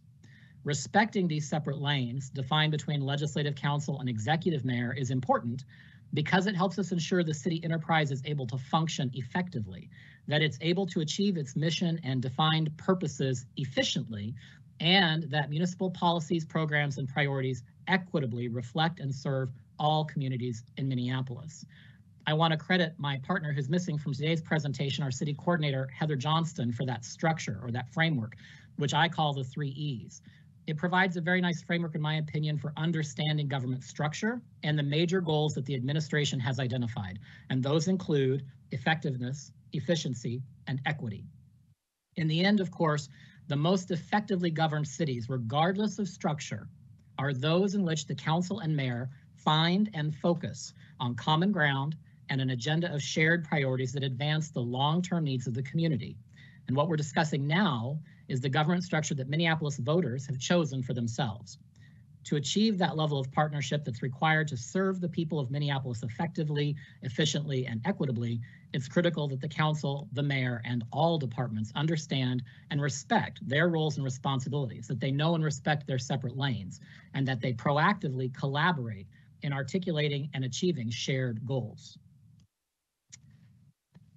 So this slide reflects the table of organization under the executive mayor structure. Uh, forgive me, this is the structure that is in place as of December 3rd. I know it doesn't reflect what the mayor just presented as his proposed plan, but this is the structure of the organization as it exists today, uh, effective as December 3rd, 2021. At the top, you can see the mayor and council. We'll advance one click. Uh, as far as we've discussed thus far in the process, we focused on this executive branch shown in the blue triangle under the mayor. Uh, even today, the mayor has presented a proposal on how to restructure this part of the city's organizational chart. Uh, I want to be clear, that plan will need to be worked out between the mayor and the council before it's being finalized. The charter does give to the council final authority for structuring the government, and it will require a number of charter and code amendments um, and those amendments will be the focus of the work we do in the weeks and months ahead. What we haven't addressed much to this point uh, is the legislative branch, what's shown in green here. This relates to the city council and its functions and its support requirements. Um, as you can see, the official and legitimate functions of the council include the enactment of local legislation to govern the community, the adoption of public policies to direct the city enterprise, oversight of the city administration to evaluate its performance, and representation, including service to constituents. These are the functions the charter specifically carves out for the council. But to perform these functions effectively, efficiently, and equitably, the council must have access to and support from the city's operating departments, those shown in blue. That's where the subject matter expertise and experience is found. In the rest of this presentation, I'm going to focus on recommendations for how we can structure those interactions between council and those operating departments, and also highlight the next steps for considering the creation of a legislative department to support the council. So as noted earlier, this is an area where there is the potential for greatest risk in terms of challenges, and that's in the area of operations and personnel. And that's what we're going to refer to broadly as the city administration. Now that the mayor has presented his proposal for how to organize the administration, we need also to consider how council relates to that structure and how we can formalize both processes and systems that will ensure effective and efficient interactions between the council and those operating departments. Of course, the charter does include a very broad prohibition against any interference by the council, by its committees, or by council members in the mayor's direction and supervision of the administration, as shown on this slide. And this restriction forces us to consider some questions about how the council can perform its official and legitimate functions effectively, since it will, of necessity, depend on, as I said earlier, the expertise and experiences of the operating departments to inform its policymaking work. In addition, if the council cannot draw on those operating departments to support its work, it will be compelled to recreate those departments that are currently under the mayor under the council's authority. And that would be highly inefficient, exorbitantly expensive, and not a sustainable model. So in the end, both the mayor and the council share an interest in making sure that these departments are available to support the council and that it's what is expected by the community.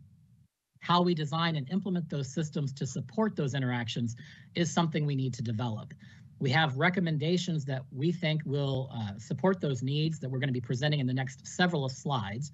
Based on council's direction, we recommend that the agreed procedures and systems be codified in formal city policy so that all parties can access, understand, and abide by these provisions. So at the outset, I'll be clear, we're recommending that the council give direction to the coordinator and clerk to bring back a draft policy that would codify these agreed elements of the recommendations I'm about to share. These recommendations reflect lessons learned and best practices from other jurisdictions, as well as feedback from the professionals in our own operating departments. So on the next slide, we've attempted to capture visually uh, what I'm referring to as the request, refer, and respond model. This model includes the following features. First, it establishes a consistent means of receiving, prioritizing, managing, and processing requests from the council. Second, it provides a dependable, structured method for council to bring forward requests related to its policy proposals to ensure that all council members are equally informed about these proposals, about work that's being done on those proposals, and about any answers or information provided in response to those requests. Third, it creates a way for the administration to respond to informal requests for information by individual council members, either for themselves or made on behalf of their constituents. And finally, it assures accountability throughout the system, which contributes to council's oversight functions. The system would do this by classifying requests by type, whether formal or informal. It would ensure that all formal requests are logged and tracked ensuring that stakeholders are informed and accountable for response.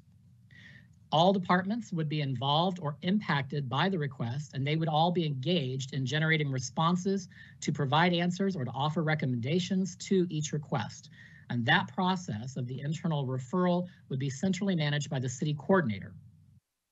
Requests would be resolved by providing accurate, relevant, and timely responses or even by offering recommendations that might be necessary to achieve stated goals or desired results.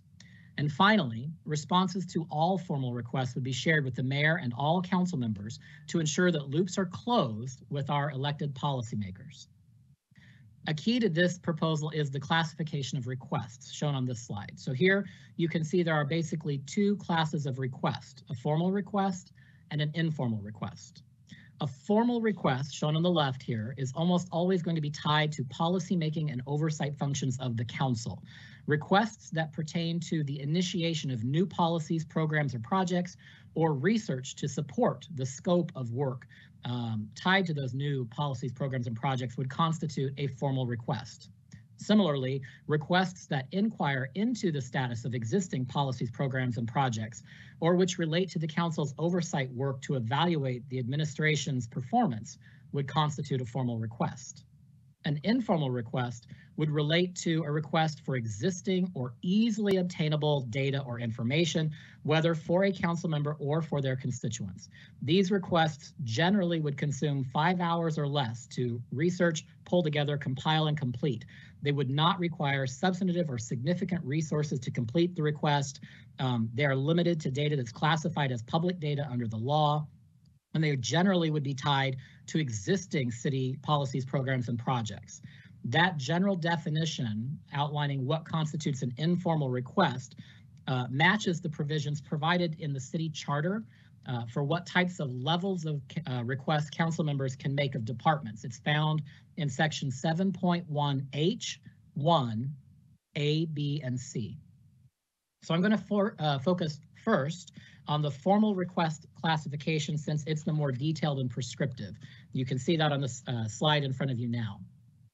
Under the general classification of formal requests, there are basically three top types in this three-tiered model.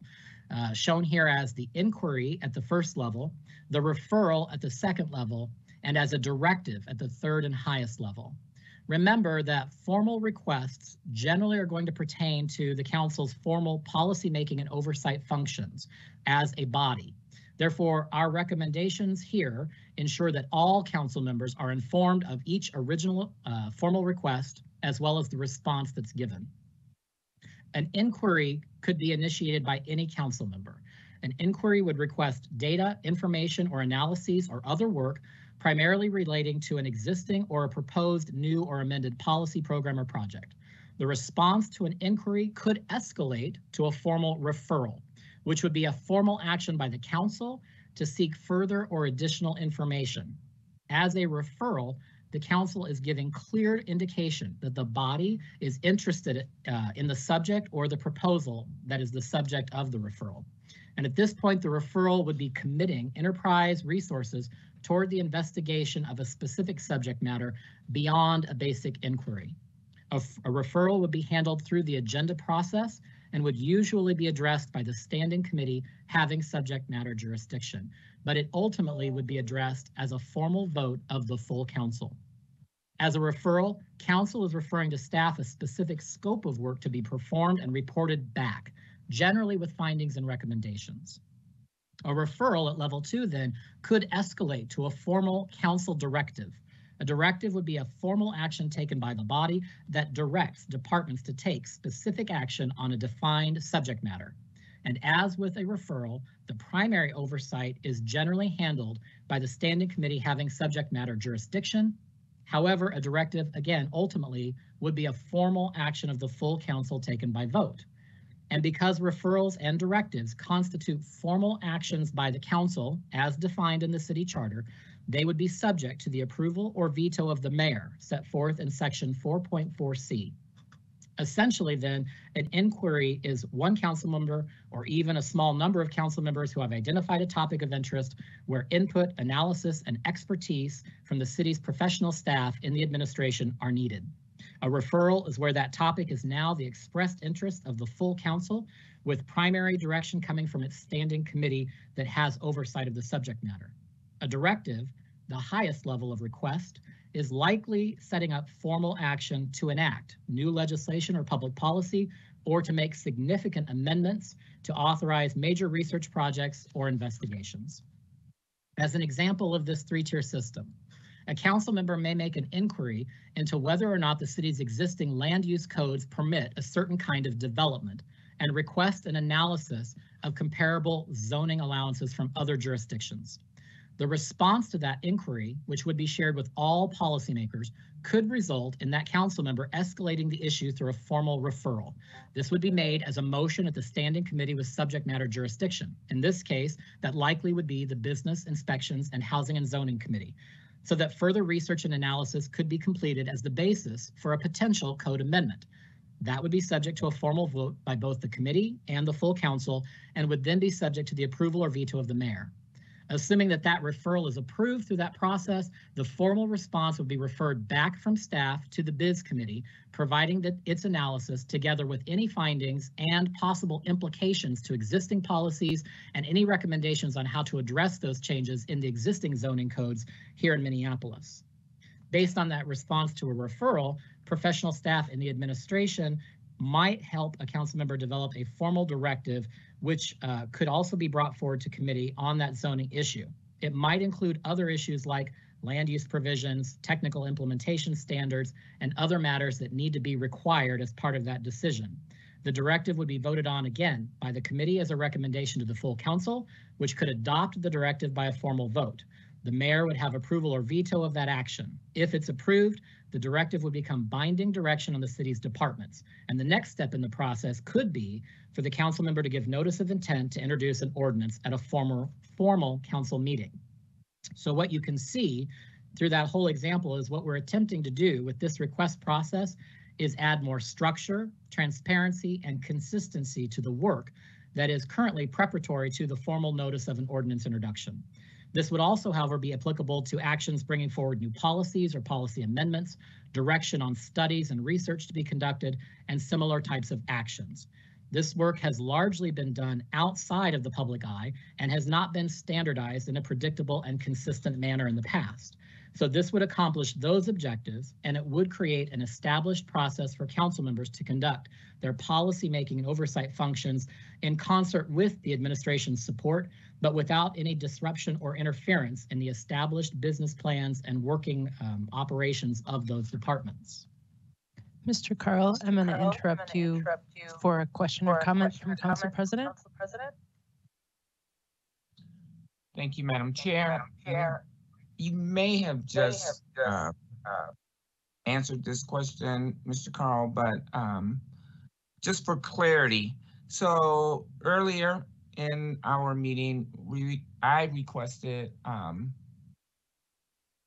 from Director Malmquist um, the number of single-family homes that are owned by multinational corporations. How would we classify that in this level one, two, three?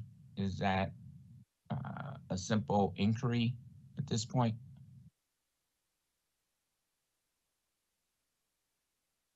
Mr. Carl, you're on mute. Uh, apologies uh, to the council president's question. The inquiry might not even be um, part of this formal request process, but might actually be started as an informal request, which I haven't covered yet. Um, it was raised in a council meeting, so at the very uh, least, I would assume that our city assessor would be providing the responsive data to that request to all council members so that every council member had access to that information and it could influence decision making down the road.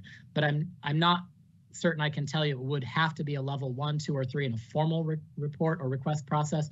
It might be an informal request uh, that could easily be satisfied by the assessor. So um, if it were, however, done as a formal request, certainly it could start here at level one and the assessor could provide the information back to all council members and there might not be any further direction made. Okay, it's still a little muddy, but thank you. So uh, proceeding along, Madam Vice President, the next step in that formal process is uh, to ensure accountability, having all requests logged and tracked. And so each formal request would be made according to standardized forms uh, filed with the city clerk. The city clerk would be responsible for assisting council members in completing those request forms and logging each of them uh, as they're uh, filed and then formally processing them with the city coordinator so that they would be subject to similar the process of giving notice in the formal legislative process today. It ensures that all council members are aware of each request. So it's circulated to all council members and then it's given to the city coordinator for processing. The next slide uh, is going to talk about internal referrals. Here, the city coordinator will act as the central coordinating point in the enterprise for receiving, routing, and managing internal referral processes for formal requests. The coordinator would be responsible for ensuring that all relevant departments are involved in the preparation of a response to each formal request and that each response is comprehensive in scope. When necessary, uh, status reports about those requests can be made by the city coordinator to keep all council members informed about internal work on their requests. As noted, all relevant departments would be engaged in responding to each request, even if not identified specifically in the original request. The coordinator would be responsible for ensuring that the process engages all departments in the process of responding, and where necessary, the administration would be responsible for anticipating and including any response um, that would need a fiscal, operational, racial equity, or other analyses relevant to the request. Uh, similarly, if the future action required by council uh, would necessitate changes, the administration should anticipate and identify what those potential changes or formal actions might be and provide their professional recommendations. Finally, a complete response would be filed with the city clerk and circulated to all council members. Where appropriate, the responses would be added to an agenda for the appropriate meeting of the committees having subject matter jurisdiction for any formal follow-up action, which could include a referral or a directive as I indicated in my example.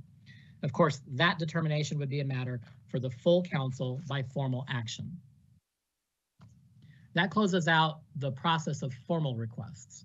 Uh, there also, as I mentioned, are informal requests. Informal requests, as I noted, are essentially requests for information by council members, either for themselves or for their constituents. And these would be restricted primarily to public data readily available or which is easy to compile or prepare with only minor staff time to produce. Informal requests are transactional in nature. That is, the request is made directly from a council member to the department, and a response is given from the department to the council member. Most requests, to your point, Council President, likely can and should begin at this level. Departments can help council members uh, through their interactions on these requests to understand if the requested data is available and meets the parameters of an informal request. And if so, they will immediately provide that information as quickly as possible. But departments can also suggest to a council member that the nature of the request should probably be done by initiating a more formal request starting with an inquiry. And departments can also then provide help and consultation and guidance on how to help prepare that formal inquiry to help save time and effort uh, in terms of responding to the request. Informal requests are not anticipated to be logged and tracked in the enterprise because they're informal and they're between the council member and departments. The understanding here is that council members are requesting data that's defined as public data by law, which is readily available and exists, and which can or should be easily produced or compiled with very little effort or time commitment by departments. Ward offices may wish to track their own informal requests and certainly staff in the legislative department could help track internal uh, requests for council as well. But these requests would not be included into the formal enterprise-wide tracking system that's envisioned to help manage formal requests. But as I noted, uh, and to your point again, Council President, an informal request could escalate into a formal request, shown on this slide. Generally, this would be in response to communications between a council member and the operating departments, where the feedback they're getting through their interactions and conversations is that a more formal process probably would be helpful. Um, that process would help ensure greater accountability, transparency, the ability to ensure a very comprehensive response that includes the entire enterprise, as well as the necessity to recognize and respect the fact that it's the council that holds all power um, in the legislative and policymaking functions of the city government and that individual council members have no power. So then, Madam Vice President, uh, on this slide, we're presenting a summary of the recommendations staff offer in terms of creating a draft formal policy that would codify the process I've just described in some detail. Uh, we would recommend that a report back date of April 26th would provide sufficient time for us to uh, draft that policy, uh, circulate that to council members, brief them, and respond to any uh, initial feedback or questions prior to a formal presentation.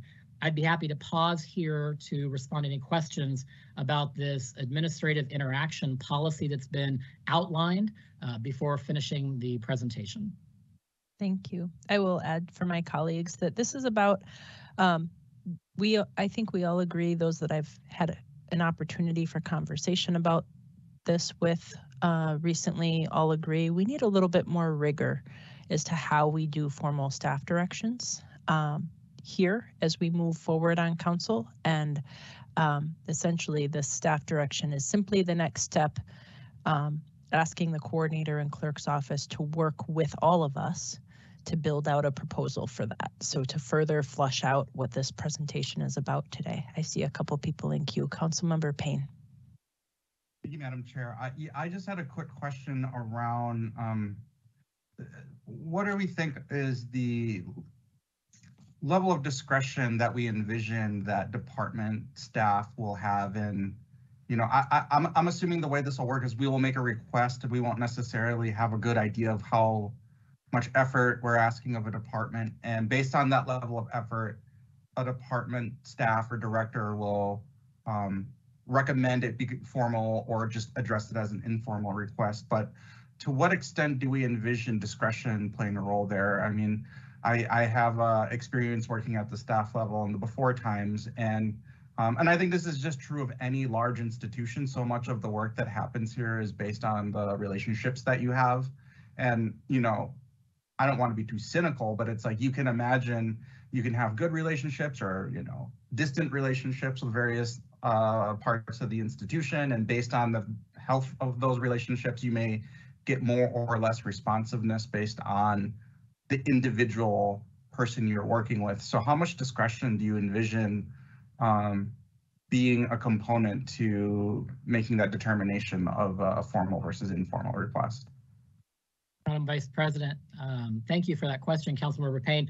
I'm not sure I can answer it directly, but I'll I'll try by sort of uh, hitting a roundabout. And that is, as I mentioned um, on the slide where I introduced informal requests, I think the vast majority of requests from council should and can start at this level. It should be an email or a phone call or even an in-person interaction between the council member uh, and the responsive staff, uh, making sure their leadership is involved to just say, I'm interested in this issue. I have a question. Can you can you give me some feedback? I think from that dialogue, you're going to find council uh, council member that departments are eager to work with you to improve their own operations, to get resources, to serve the community. Um, we are fortunate in the city to have very well qualified professionals throughout our ranks from top to bottom, and they want to do a good job. So, as part of doing a good job, I think those informal contacts will make that work more um, dynamic, responsive, faster, fluid, um, and it will build positive relationships between council members and departments, um, quite frankly. And so I, I encourage council members and departments to keep as much at the informal as possible. But I think as you're working to shape what it might be, departments might say, you know, I'm not sure that I'm the only department that would contribute to this issue. Um, there might be others. I know there are others, and I'd want to get their impact. Uh, this is clearly going to be more than you know a couple days work. This is going to be a, a study. We probably need to escalate this to at least an inquiry so that we can make sure we're using that formal, transparent, public process, right? Because as we're logging and tracking that, people can access that information through data practices requests as well. Um, and so that has a tendency to push it into that public realm of the council's operations where it can't be easily resolved. So in terms of discretion, I think departments obviously have a great deal of discretion over their day-to-day -day operations and knowing their work product but they also want to and do work very closely with policymakers, especially those committees that exercise direct oversight. And I think that those positive relationships will help to ensure that where things are escalated or where they recommend that it be escalated into a formal process, it's because they want to make sure we're following the process so things can be tracked, transparent, accountable, engage the entire enterprise, and make sure that the response that's given is is a fulsome response that is shared with all policymakers and not just one or two.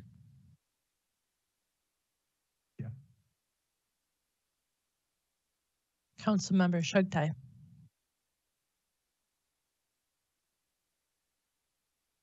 Thank you, Chair Palmisano. Mr. Clerk, I, I, I wonder if you can speak a little bit to how we are, we're thinking about ensuring a shared understanding between council members, um, directors and staff broadly about what constitutes a formal request versus an informal one. Uh, Thank you, council member, for that question. I, I think this piggybacks a little bit on what I just uh, offered in terms of a, a partial response to Councilmember Payne's question. That is, it's going to be the give and take between council members as elected policymakers and department staff, especially through department leaders, in terms of developing the policy, implementing and managing the policy, and over time, we'll get a sense of where um, those divisions happen. Uh, what I was hoping is that the policy would be flexible enough to give us space to work together um, and not overly prescriptive, but that it would at least establish some very broad categories, very broad classifications, so that there is a an ability referring to a written policy, right? It's a written policy we can refer to that says, you know, here we are at the inquiry status. Here's that form, here's that process. Now that I've gotten the information back from this formal inquiry that's shared with all of my colleagues, I really want to move forward to a referral process. That's the next step. And so there would be a series, there'd be a policy, but there'd also be accompanying procedures and forms to help us with implementation and give us guidance. And as with our existing policies over time, those would be changed and refined uh, to reflect shared understanding and, and changes in how we operate. So this is just a starting point, and I think it would take all of us together to sort of make those definitions that are right now very conceptual as I'm sharing them with you today. Right. I think that that's a that's a helpful explanation.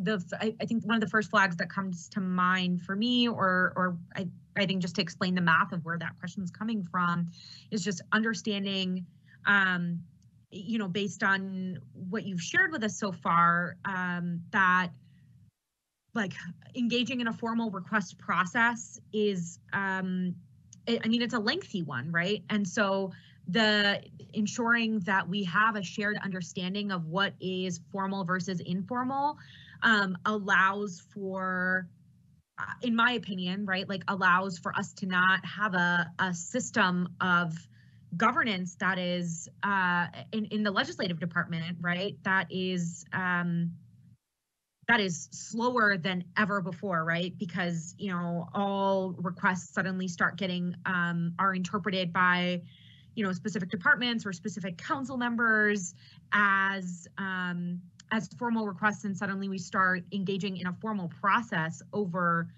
over things and now we have uh, like a system that is more inefficient than ever before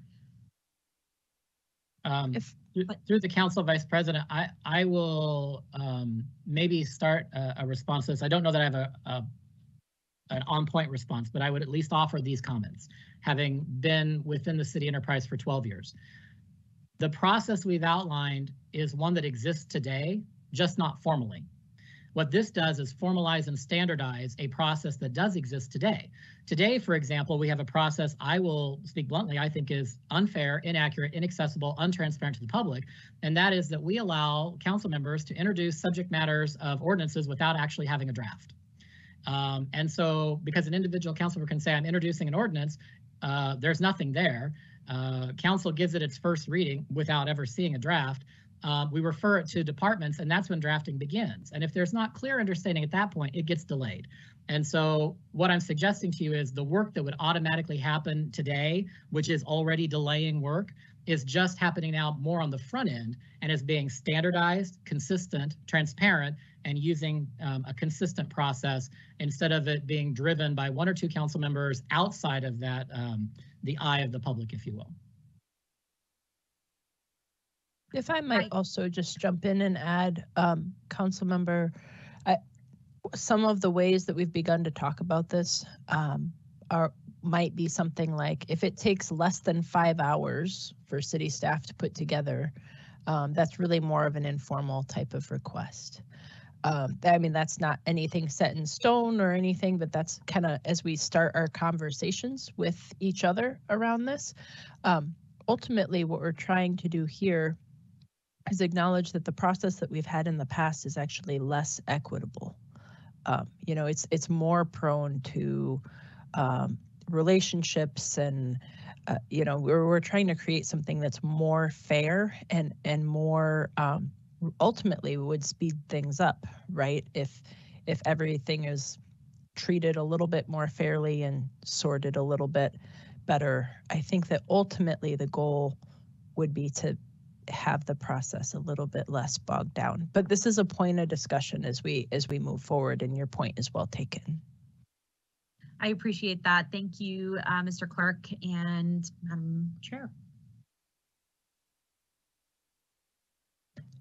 Councilmember johnson Thank you, Madam Chair. I know this is about recommended directions, for instance, around this uh, request, refer, respond uh, model and some of these other pieces talked about. So, Mr. Carl, I'm not sure if this is a good time to mention the work plan stuff. Uh, Ab- absolutely, Councilmember Johnson. I yes think this is a All great. right. please Perfect. Well, I, I just thought I'd uh, mention this and I, I appreciate the conversation specifically just around process for this. I think this is really important in terms of uh, creating a more consistent process around how we do this policy work and being more transparent in it. And so one of the things that uh, myself and uh, Public Works and Infrastructure Vice Chair Koski uh, what we are doing is working on developing out a work plan for our committee. And so we've had meetings with almost every single council member now just to hear their thoughts about what their priorities are, what's important. We've been uh, meeting with department leadership around what the division directors uh, and the department leadership's priorities are,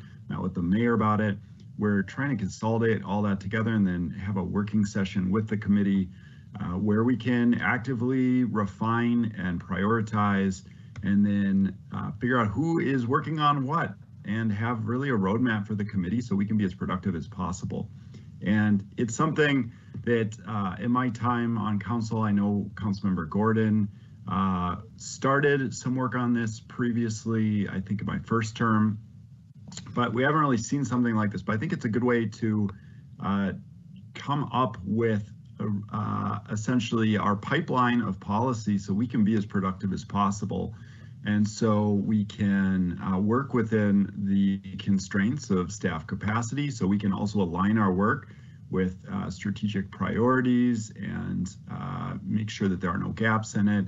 And so that we can be transparent and share with the public uh, what we're working on. And so you know, I don't bring all this up uh, uh, just to, you know, uh, uh, toot our own horn about the work that we're doing, but really to uh, emphasize that I think there is this opportunity uh, for the council to standardize this sort of an approach and for each committee to do this work, especially as we're doing this work. I, I think it's important for the public to know, you know, we we do tend to naturally divide a lot of our our uh, work on the council among these different committees in terms of where we're focused uh, in such a way that usually not every single council member is able to focus on every single issue because frankly there's not enough hours in the day for that. And so there is a, a bit of a team approach here and there probably can be even more so. And i think uh, the way we structure our processes can lend itself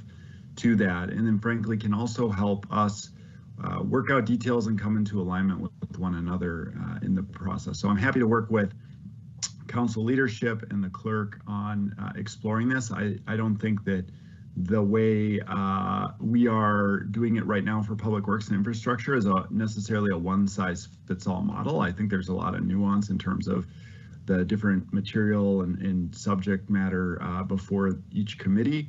Uh, and you know, people have different strengths in, in terms of uh, chairs and vice chairs and what their uh, interests are and the degree to which they want to engage in planning work. But uh, I do think there's more that we could be doing here, and would love to hear any thoughts uh, from the clerk on this and how that might get wrapped up into this uh, larger conversation. Council Vice President, um, I, I, will take the opportunity to say to Council Member Johnson's comments and his proposal. Uh, we had a great conversation uh, just before between the POGO and CAL meetings today to talk about this, this work that he and Councilmember Koski as leadership of the Public Works and Infrastructure Committee have done to develop a work plan I think this is a really good um, systemic way of helping us structure and uh, systematize council's work in a way that is standardized, consistent, and available, you know, transparent to the public and accessible to the public. Um, I, I, hope to learn from them how they did theirs and structured. I think it would be good for us to bring that forward. And I welcome Council President Jenkins or Vice President Palmisano to add to this. I know that at the beginning of the year, as we organized, this concept of the idea of committee work plans was something that we discussed. Um, and so uh, Councilmember Johnson and Councilmember Koski and their leadership of the PWI committee have certainly uh, jumped forward and moved ahead on that. But I know that this was a, a subject matter that uh, Council President Jenkins and Council Vice President Palmisano had identified very early on as something to help us really structure and organize council's leadership work in terms of local legislation and public policy. So I'm excited to uh, work with other council committees in preparing similar work plans going forward. Yes, and I'll just add that um, Council Member Johnson said he didn't want to toot his own horn, but I would, I would certainly be one to step up and praise the work of our Public Works and Infrastructure Committee and getting all of that together. Um, we'd like to get to the point where other committees have committee plans and that departments have work plans for the year too. How we um, do this and how staff directions fit into that work plan or not might be one of the routing measures as to how we do this at the end of the day. Council President Jenkins. Thank you, Madam uh, Chair and um, Mr. Carl. Um, yeah, no, I absolutely 100% agree. I also uh, commend um, Councilmember Johnson when I saw that work plan come out um, from uh, the Public Works Chair and Vice Chair, I, I thought, wow, that is how all of our committees should uh, actually, you know, and and things will change, right? Like, uh, but at least you have a roadmap to begin with. But I think it's going to be imperative in order to make those committee um, work plans that we have department work plans in order to um, inform those work plans. So um, agreed, and and we will need those um, um, department work plans as well. Madam Vice Chair, uh, I'm happy to just finish off the presentation and we can consider your proposed directive uh, when that's done, um, or we can take that up now. It's uh, however you wish to do that. I think we'll go on. I know you have just a few more slides here and we'll do that at the end as we receive and file the report. Um, okay, so I'll continue. Uh, as many council members have been inquiring and have said today, um, the work to create a legislative department that would support council and its official functions is something that um, is on all of our minds. We've obviously spent most of our time thus far and our attention on the mayor and on the city administration. So I want to just highlight um, some work that's been done in this regard, which is preliminary to future reporting. Last year, after the results of the election were announced and certified as official, the council adopted a directive which required the clerk and the auditor to evaluate the operating structures in comparable cities for legislative departments and to report back recommendations about how a similar department could be established here in Minneapolis. Um, the auditor, Mr. Patrick, and I have been working on that analysis since that time. We're now at the point where we're ready to brief council members on our recommendations um, and to take any feedback that council members have in advance of a formal presentation to this body. As this slide here shows, we've identified uh, the core functions of council, which constitute its official and legitimate functions uh, in three very broad categories. Those include policymaking, oversight, and representation. And you can see some very simple definitions of each of those categories on this slide. Our focus uh, has been on exploring how appropriate resources should be allocated to each of these major functions within the parameters of the city charter. So it requires us to think about the charter. The city charter provides that the council appoints and has direct supervision of the city clerk, who functions as the clerk and parliamentarian of the council and supports its legislative operations and its administrative functions. The council has indirect authority over the city auditor, who is appointed by and is directly accountable for a defined term to an independent audit committee. This isolation helps to preserve the um, professional status, the objectivity, and the neutrality of the auditor. The clerk and the auditor then are the professional, nonpartisan staff officers of the council. The council also has the ability to provide for its own aides for individual members. These aides then are the personal and political support for council members and primarily uh, work on supporting representational functions, especially including constituent services. So we do look forward to bringing forward a report with all of our recommendations at the next regular meeting of this body that will address our proposals on those three uh, categories of function. And so with that, Madam President, I'll just note uh, this subcommittee is set to meet again on Tuesday, April 12th, at which time we would anticipate that the body will take up and discuss the mayor's plan for executive organization. We would receive a report related to, as I just teased, the structuring of the legislative department, and we would accept an update on the status of the draft policy about structured council and administration interactions. Um, and again, I'll remind folks about the city website where all of this information is being tracked. It can be accessed at minneapolismn.gov forward slash government forward slash structure. I also noted that staff anticipates regular briefings and updates on the work to implement this new government structure. And with thanks to you, Madam Vice President and President Jenkins, we are finalizing a schedule for the remainder of this year that would identify dates and times for those regular public reports to be brought forward to this subcommittee. Obviously, um, there is a need to do some extensive work to bring forward all those amendments I mentioned earlier to the charter and codes, and that work will be funneled through this subcommittee so that the council and the community have a single place uh, where they can track this important work. I anticipate bringing forward that final schedule at our next subcommittee meeting as well. So with that, I've concluded my presentation. Madam Vice President, I'd be happy to stand for questions or we can ask the technical team to uh, post your staff directive. Actually, this is, oh, um, I was just going to call on Councilmember Wonsley Worlobah. Um,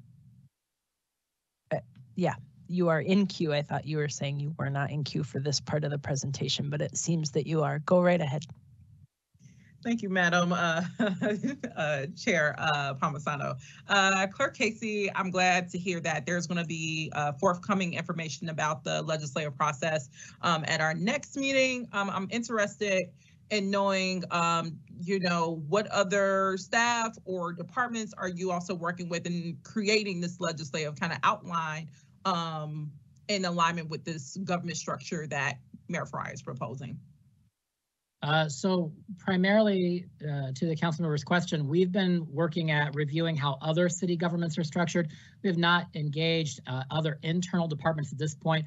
Our anticipation is that we are going to be briefing council members to share with you our recommendations and our thoughts, having looked at other cities and other cities with strong council uh, systems where there are full-time council members that operate with committees and have their own uh, resources and operate independently of, a, of an executive.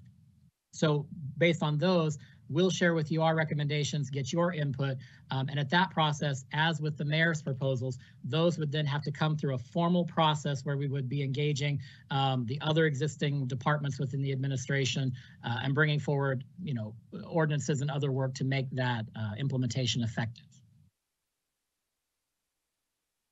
Thank you, Clerk Casey. Councilmember Chughtai.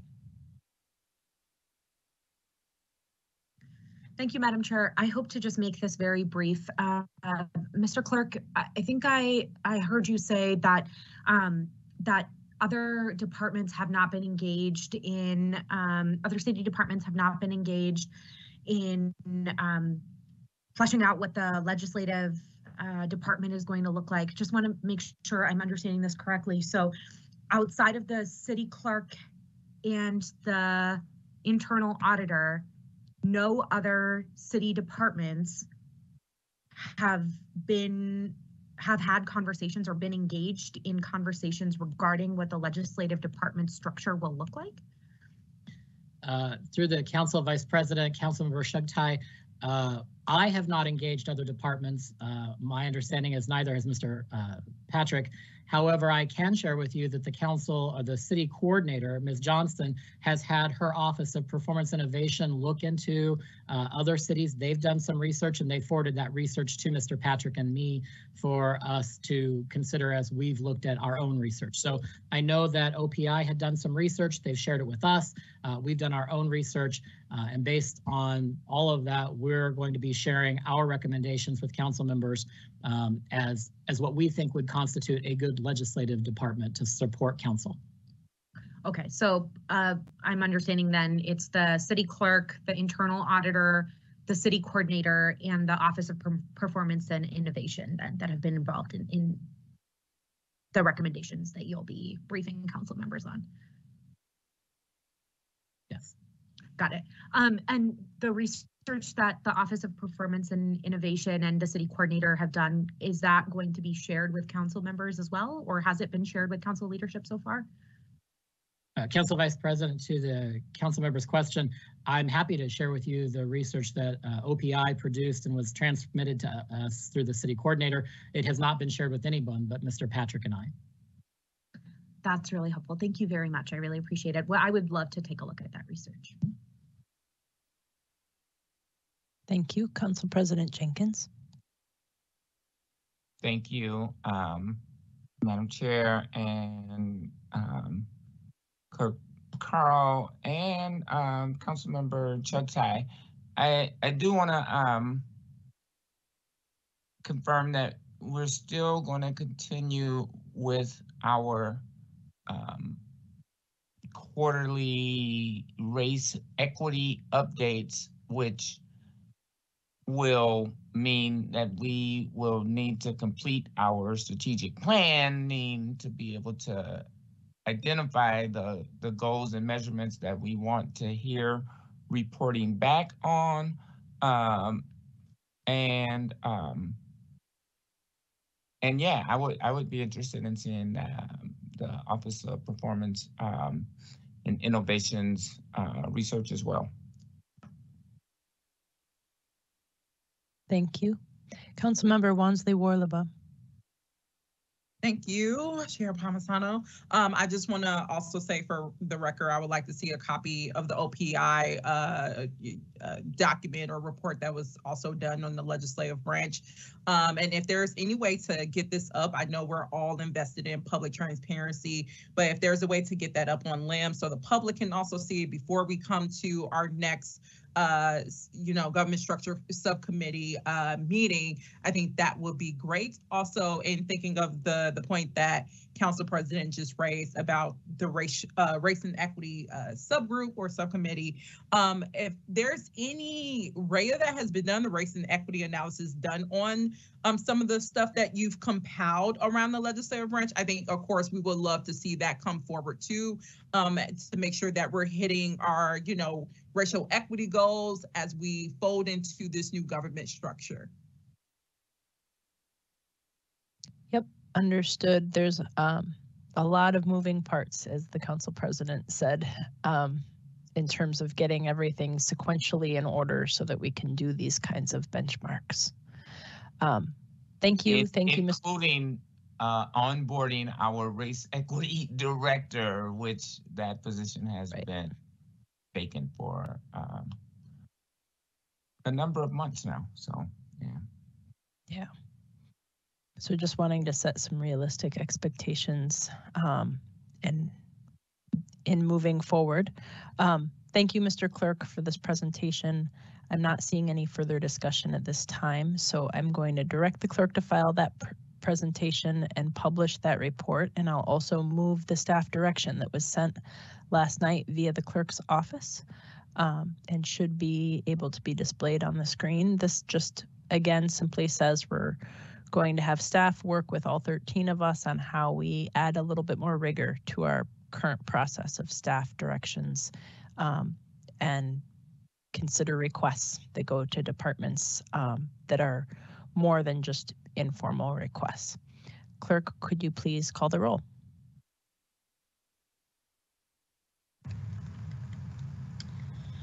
Councilmember Payne.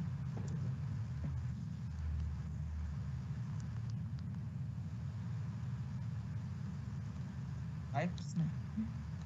I'm sorry, was that an, a yay? Yes. Okay, thank you. Uh, Councilmember Wonsley Worlobah. Aye. Councilmember Rainville. Aye. Councilmember Vetaw. Aye. Councilmember Ellison. Aye. Councilmember Osman. Aye. Councilmember Goodman. Aye. President Jenkins. Aye. Councilmember Chughtai. Aye. Councilmember Koski. Aye. Councilmember Johnson. Aye. Vice Chair Chavez. Aye. Chair Palmisano. Aye. That's ayes and zero nays.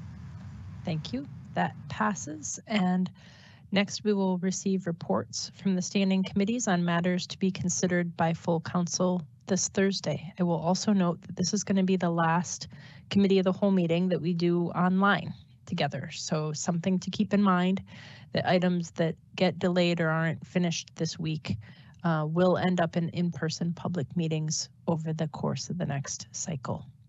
Um, We'll start with the Business Inspections Housing and Zoning Committee. The chair of that committee is Councilmember Goodman. Thank you, Madam Vice President. Uh, The Biz Committee will bring, a- be bringing 18 items forward for approval on Thursday. Item one, two, and three are land sales. Item number four is a land sale for the Midtown Crossing Affordable Housing Project. And item five are a resolution for bond approval uh, for the Midtown Crossing Affordable Housing Project. Item six is a final plat appeal by Roberta Castellano, and the committee moved to deny the appeal. Item seven are the liquor license approvals, and eight are the liquor license renewals. Item nine are license operating conditions for Ties Lounge and Rooftop.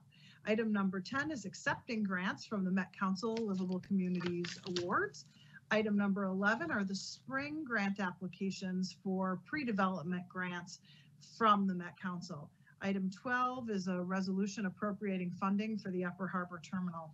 Item 13 are amendments to our inclusionary zoning revenue offset assistance policy. Item 14 is a loan for a naturally occurring affordable housing project at 3121 Third Avenue South. Item 15 is a parking lease agreement with PCYC. Item 16 is a much-awaited contract with Mid- Mid-Minnesota Legal Aid to support low-income renters. This is part of our right to counsel ordinance and funding behind it. Item number 17 is a contract amendment, and I- item 18 is an appointment to the Heritage Preservation Commission, uh, Meredith Anderson in Ward 9. With that, I'm happy to answer any questions, items 1 through 18. Thank you. I'm not seeing any questions or comments. I would ask if people have prepared amendments that they're bringing on Thursday, uh, that after the committee report would be a good time just to make everybody aware of them. Next up is the Policy and Government Oversight Committee that we had this morning, chaired by Councilmember Ellison. Councilmember Ellison, are you ready with that report already?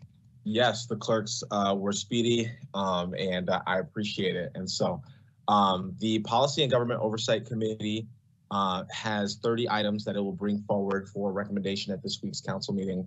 Item number one is a gift acceptance from Friends of the Fall for the Upper St. Anthony Lock for land acquisition due diligence related cost. Uh, item number two is gift acceptance from Kauffman Foundation for spring Mayor Chief of Staff convening at Harvard Kennedy School. Item number three is rollover of unspent 2021 American Rescue Plan Act funds and exchange of funds, uh, fund funding resources between projects. Uh, item number four is a bid for Franklin Avenue uh, West Reconstruction Project. Item number five is a bid for hot mix asphalt. Item number six is a bid for small diameter pipe cleaning inspections. Items uh, seven through 17 are contract amendments for various contracts related to the public service building. Uh, item number 18 is a contract amendment with uh, Lametti and Sons, Inc. for the Lower St. Anthony Falls Lock and Dam Water Services uh, relocation project.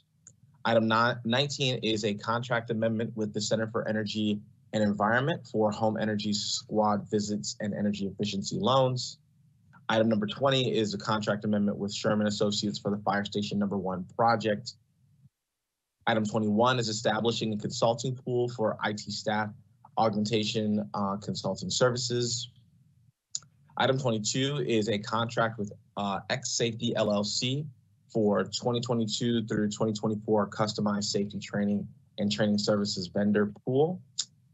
Item 23 is contracts with the Minnesota Homeownership Center, Build Wealth Minnesota, Emerge, NeighborWorks Home, NeighborWorks Home Partners, and uh, uh, CAPI USA for financial wellness, homebuyer education services, and foreclosure counseling. Item 24 is a legal settlement, uh, uh, Megan Wolf versus the City of Minneapolis. Item 25 is a legal settlement, Alicia Truman on her own behalf and as trustee for the next of kin, kin of Norman Truman versus the City of Minneapolis. Item 26 is a legal settlement, uh, which is a workers' compensation claim uh, of Aaron Collins. Item 27 is the election precinct boundaries de- designation. Item 28 is the 2022 polling place designation. And item 20, uh, uh, 29 is the collective bargaining agreement uh, with the Minneapolis uh, Police Officers Federation. Uh, this item is being moved forward without recommendation. And item number 30 is an easement agreement for the fire station number 27 driveway. And with that, I'll stand for any questions. Thank you. I wanted to uh, call on Councilmember Johnson to speak to an item about, uh, on the POGO agenda. Thank you, Madam Chair. And this is uh, just in the spirit of uh, your request to speak to the motions we'll be making around uh, these items on item number 29, specific to the police union contract uh, that was forwarded without recommendation of the council. We heard a lot, a lot of really great information at committee. I think it was uh, a great precedent in terms of public transparency and really important information to share as well. I also personally think that the public uh, needs time to process that information more than 48 hours, uh, which is uh, they have less than uh, 48 hours to process that information. Uh, if we take up the police contract on uh, Thursday, so I do plan on moving to postpone that one cycle so that members of the public have a chance to process all that information and if they have any additional uh, comments, questions, anything like that, they're able to speak to their respective uh, council members as well uh, before the council uh, takes that up. And then related to that, I also wanted to mention that uh, there was a separate motion to add a public hearing related to that. That motion failed. I was actually uh, one of the council members that voted against that motion on adding a public hearing. And I did want to note just publicly that I am working on drafting a a motion to or a staff direction uh, to get some recommendations back on how moving forward in the future we can solicit uh, public uh, input on labor contracts in a in a way that we actually have a process around it that it can be useful and actionable and how we collect that. Uh, and so I'm not sure if I will have time to have all the T's crossed and I's dotted before Thursday with that and have staff buy-in on the draft language, and uh, I certainly plan on working with uh, POGO Chair Ellison on draft language and, and making sure I am collaborating with him and also with Councilmember Wonsley Worlobah, who I know brought forward the motion around the public hearing, but I did want to mention it at least at this meeting that uh, that's my intent is to uh, bring forward a draft staff direction at some point uh, here either Thursday or at an upcoming POGO meeting, uh, because I think we can do more in the long term of how we uh, engage with the public in uh, gathering input that can help the city with what issues are within scope and future negotiations. Thank you, Madam Chair. Thank you, and thank you for mentioning that. I appreciate it. The next committee report we have is Public Health and Safety Committee, chaired by Councilmember Vetaw.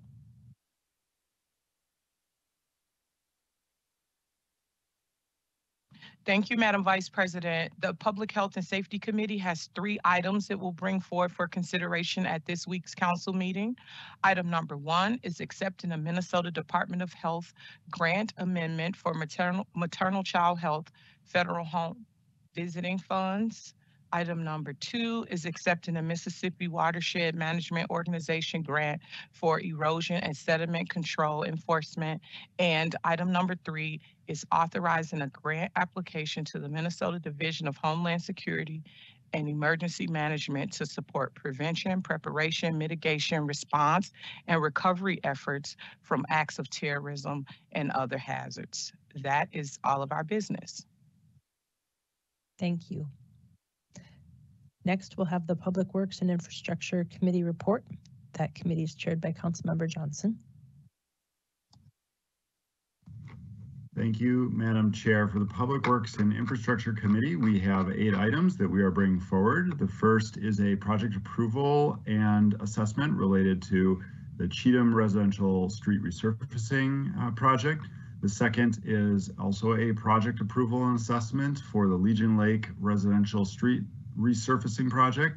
The third is a project approval and assessment and areaway abandonment for the Luella Anderson Neighborhood Project Phase 2. The fourth is a grant application for the 2022 Metropolitan Council Regional Solicitation for tra Federal Transportation Funds. The fifth is a variance request uh, from municipal state aid standards for Hennepin Avenue South street reconstruction. The sixth is uh, municipal state aid appropriation revenue increase related to Franklin Avenue West street reconstruction project. The seventh is a memorandum of understanding with MPRB and Hennepin County for land conveyance. And the eighth is a large block event permit for Rock the Garden. With that, I will stand for any questions.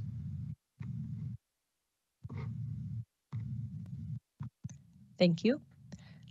Seeing none, um, I did want to just finally call on our Council President Jenkins um, for anything else that might be coming up at the full council meeting this Thursday. Council President. Yes, thank you, Madam uh, Chair. And colleagues, I do want to just give everyone a heads up that I plan to bring forward a motion at our full council meeting on Thursday that would direct the city clerk to prepare a resolution and bring that forward in the next cycle to create the housing rent stabilization work group. Um, I've been working with staff over the past several weeks to outline what I believe is a solid plan for the, the council to provide meaningful um, community engagement on this important issue. Uh, I think there's been uh, strong consensus amongst uh, us that this important topic should be driven by the voices of community stakeholders and that any policy recommendations that are supported by broad by a broad-based coalition of the community will ultimately be the best for the city of Minneapolis. And I've been hearing very, very similar supportive remarks from community members to uh, advocates and um, and labor groups and others around um, that proposal. So I, I, think we're moving in the right direction. I know staff have had a chance to to brief uh, all council members on the outline that I put together, and my intention is to secure by a formal vote a direction to the city clerk to bring us a resolution in the next cycle that would formally establish that work group. Then the council and the mayor will need to decide the process for making appointments to that work group and I anticipate that we'll be able to finalize uh, and make appointments to the work group uh, by the end of May, which means that we'll be looking to convene our first meeting of the work group in May. Um, I've asked the clerk to make sure that the motion is added to our agenda for our council meeting um, on Thursday. And so this is an early notice about that item so that we can begin advancing this really uh, important and impactful work uh, addressing housing stability and rent stabilization in Minneapolis. You know, we even, you know, the assessments um, that we report that we heard is going to really be challenging for the communities that we know are are really uh, critically challenged by um, um, nefar- nefarious landlords, etc. And so, um, really looking forward to getting this work started. Also, want to just um, note and, and remind everybody, though I'm sure uh, probably don't need one, but we will be taking up the matter of the mayor's veto this coming Thursday as well. So um, look forward to uh, uh, pretty action-packed um, agenda at our council meeting. And I, I do want to just commend, you know, all of my colleagues today. I, I know I sat in on the earlier POGO committee, uh, though I'm not a, a, a voting member of that committee and I'm sure there are other council members there as well. It has been a uh, a pretty long uh, two committee Tuesday, and so um, just want to thank everybody for their um, continued diligence and uh, perseverance in this work. Thank you, Madam Chair. Thank you. Thank you, everybody, for laying things out after we consider the mayor's veto. I do not see um, any other potential resolutions or actions.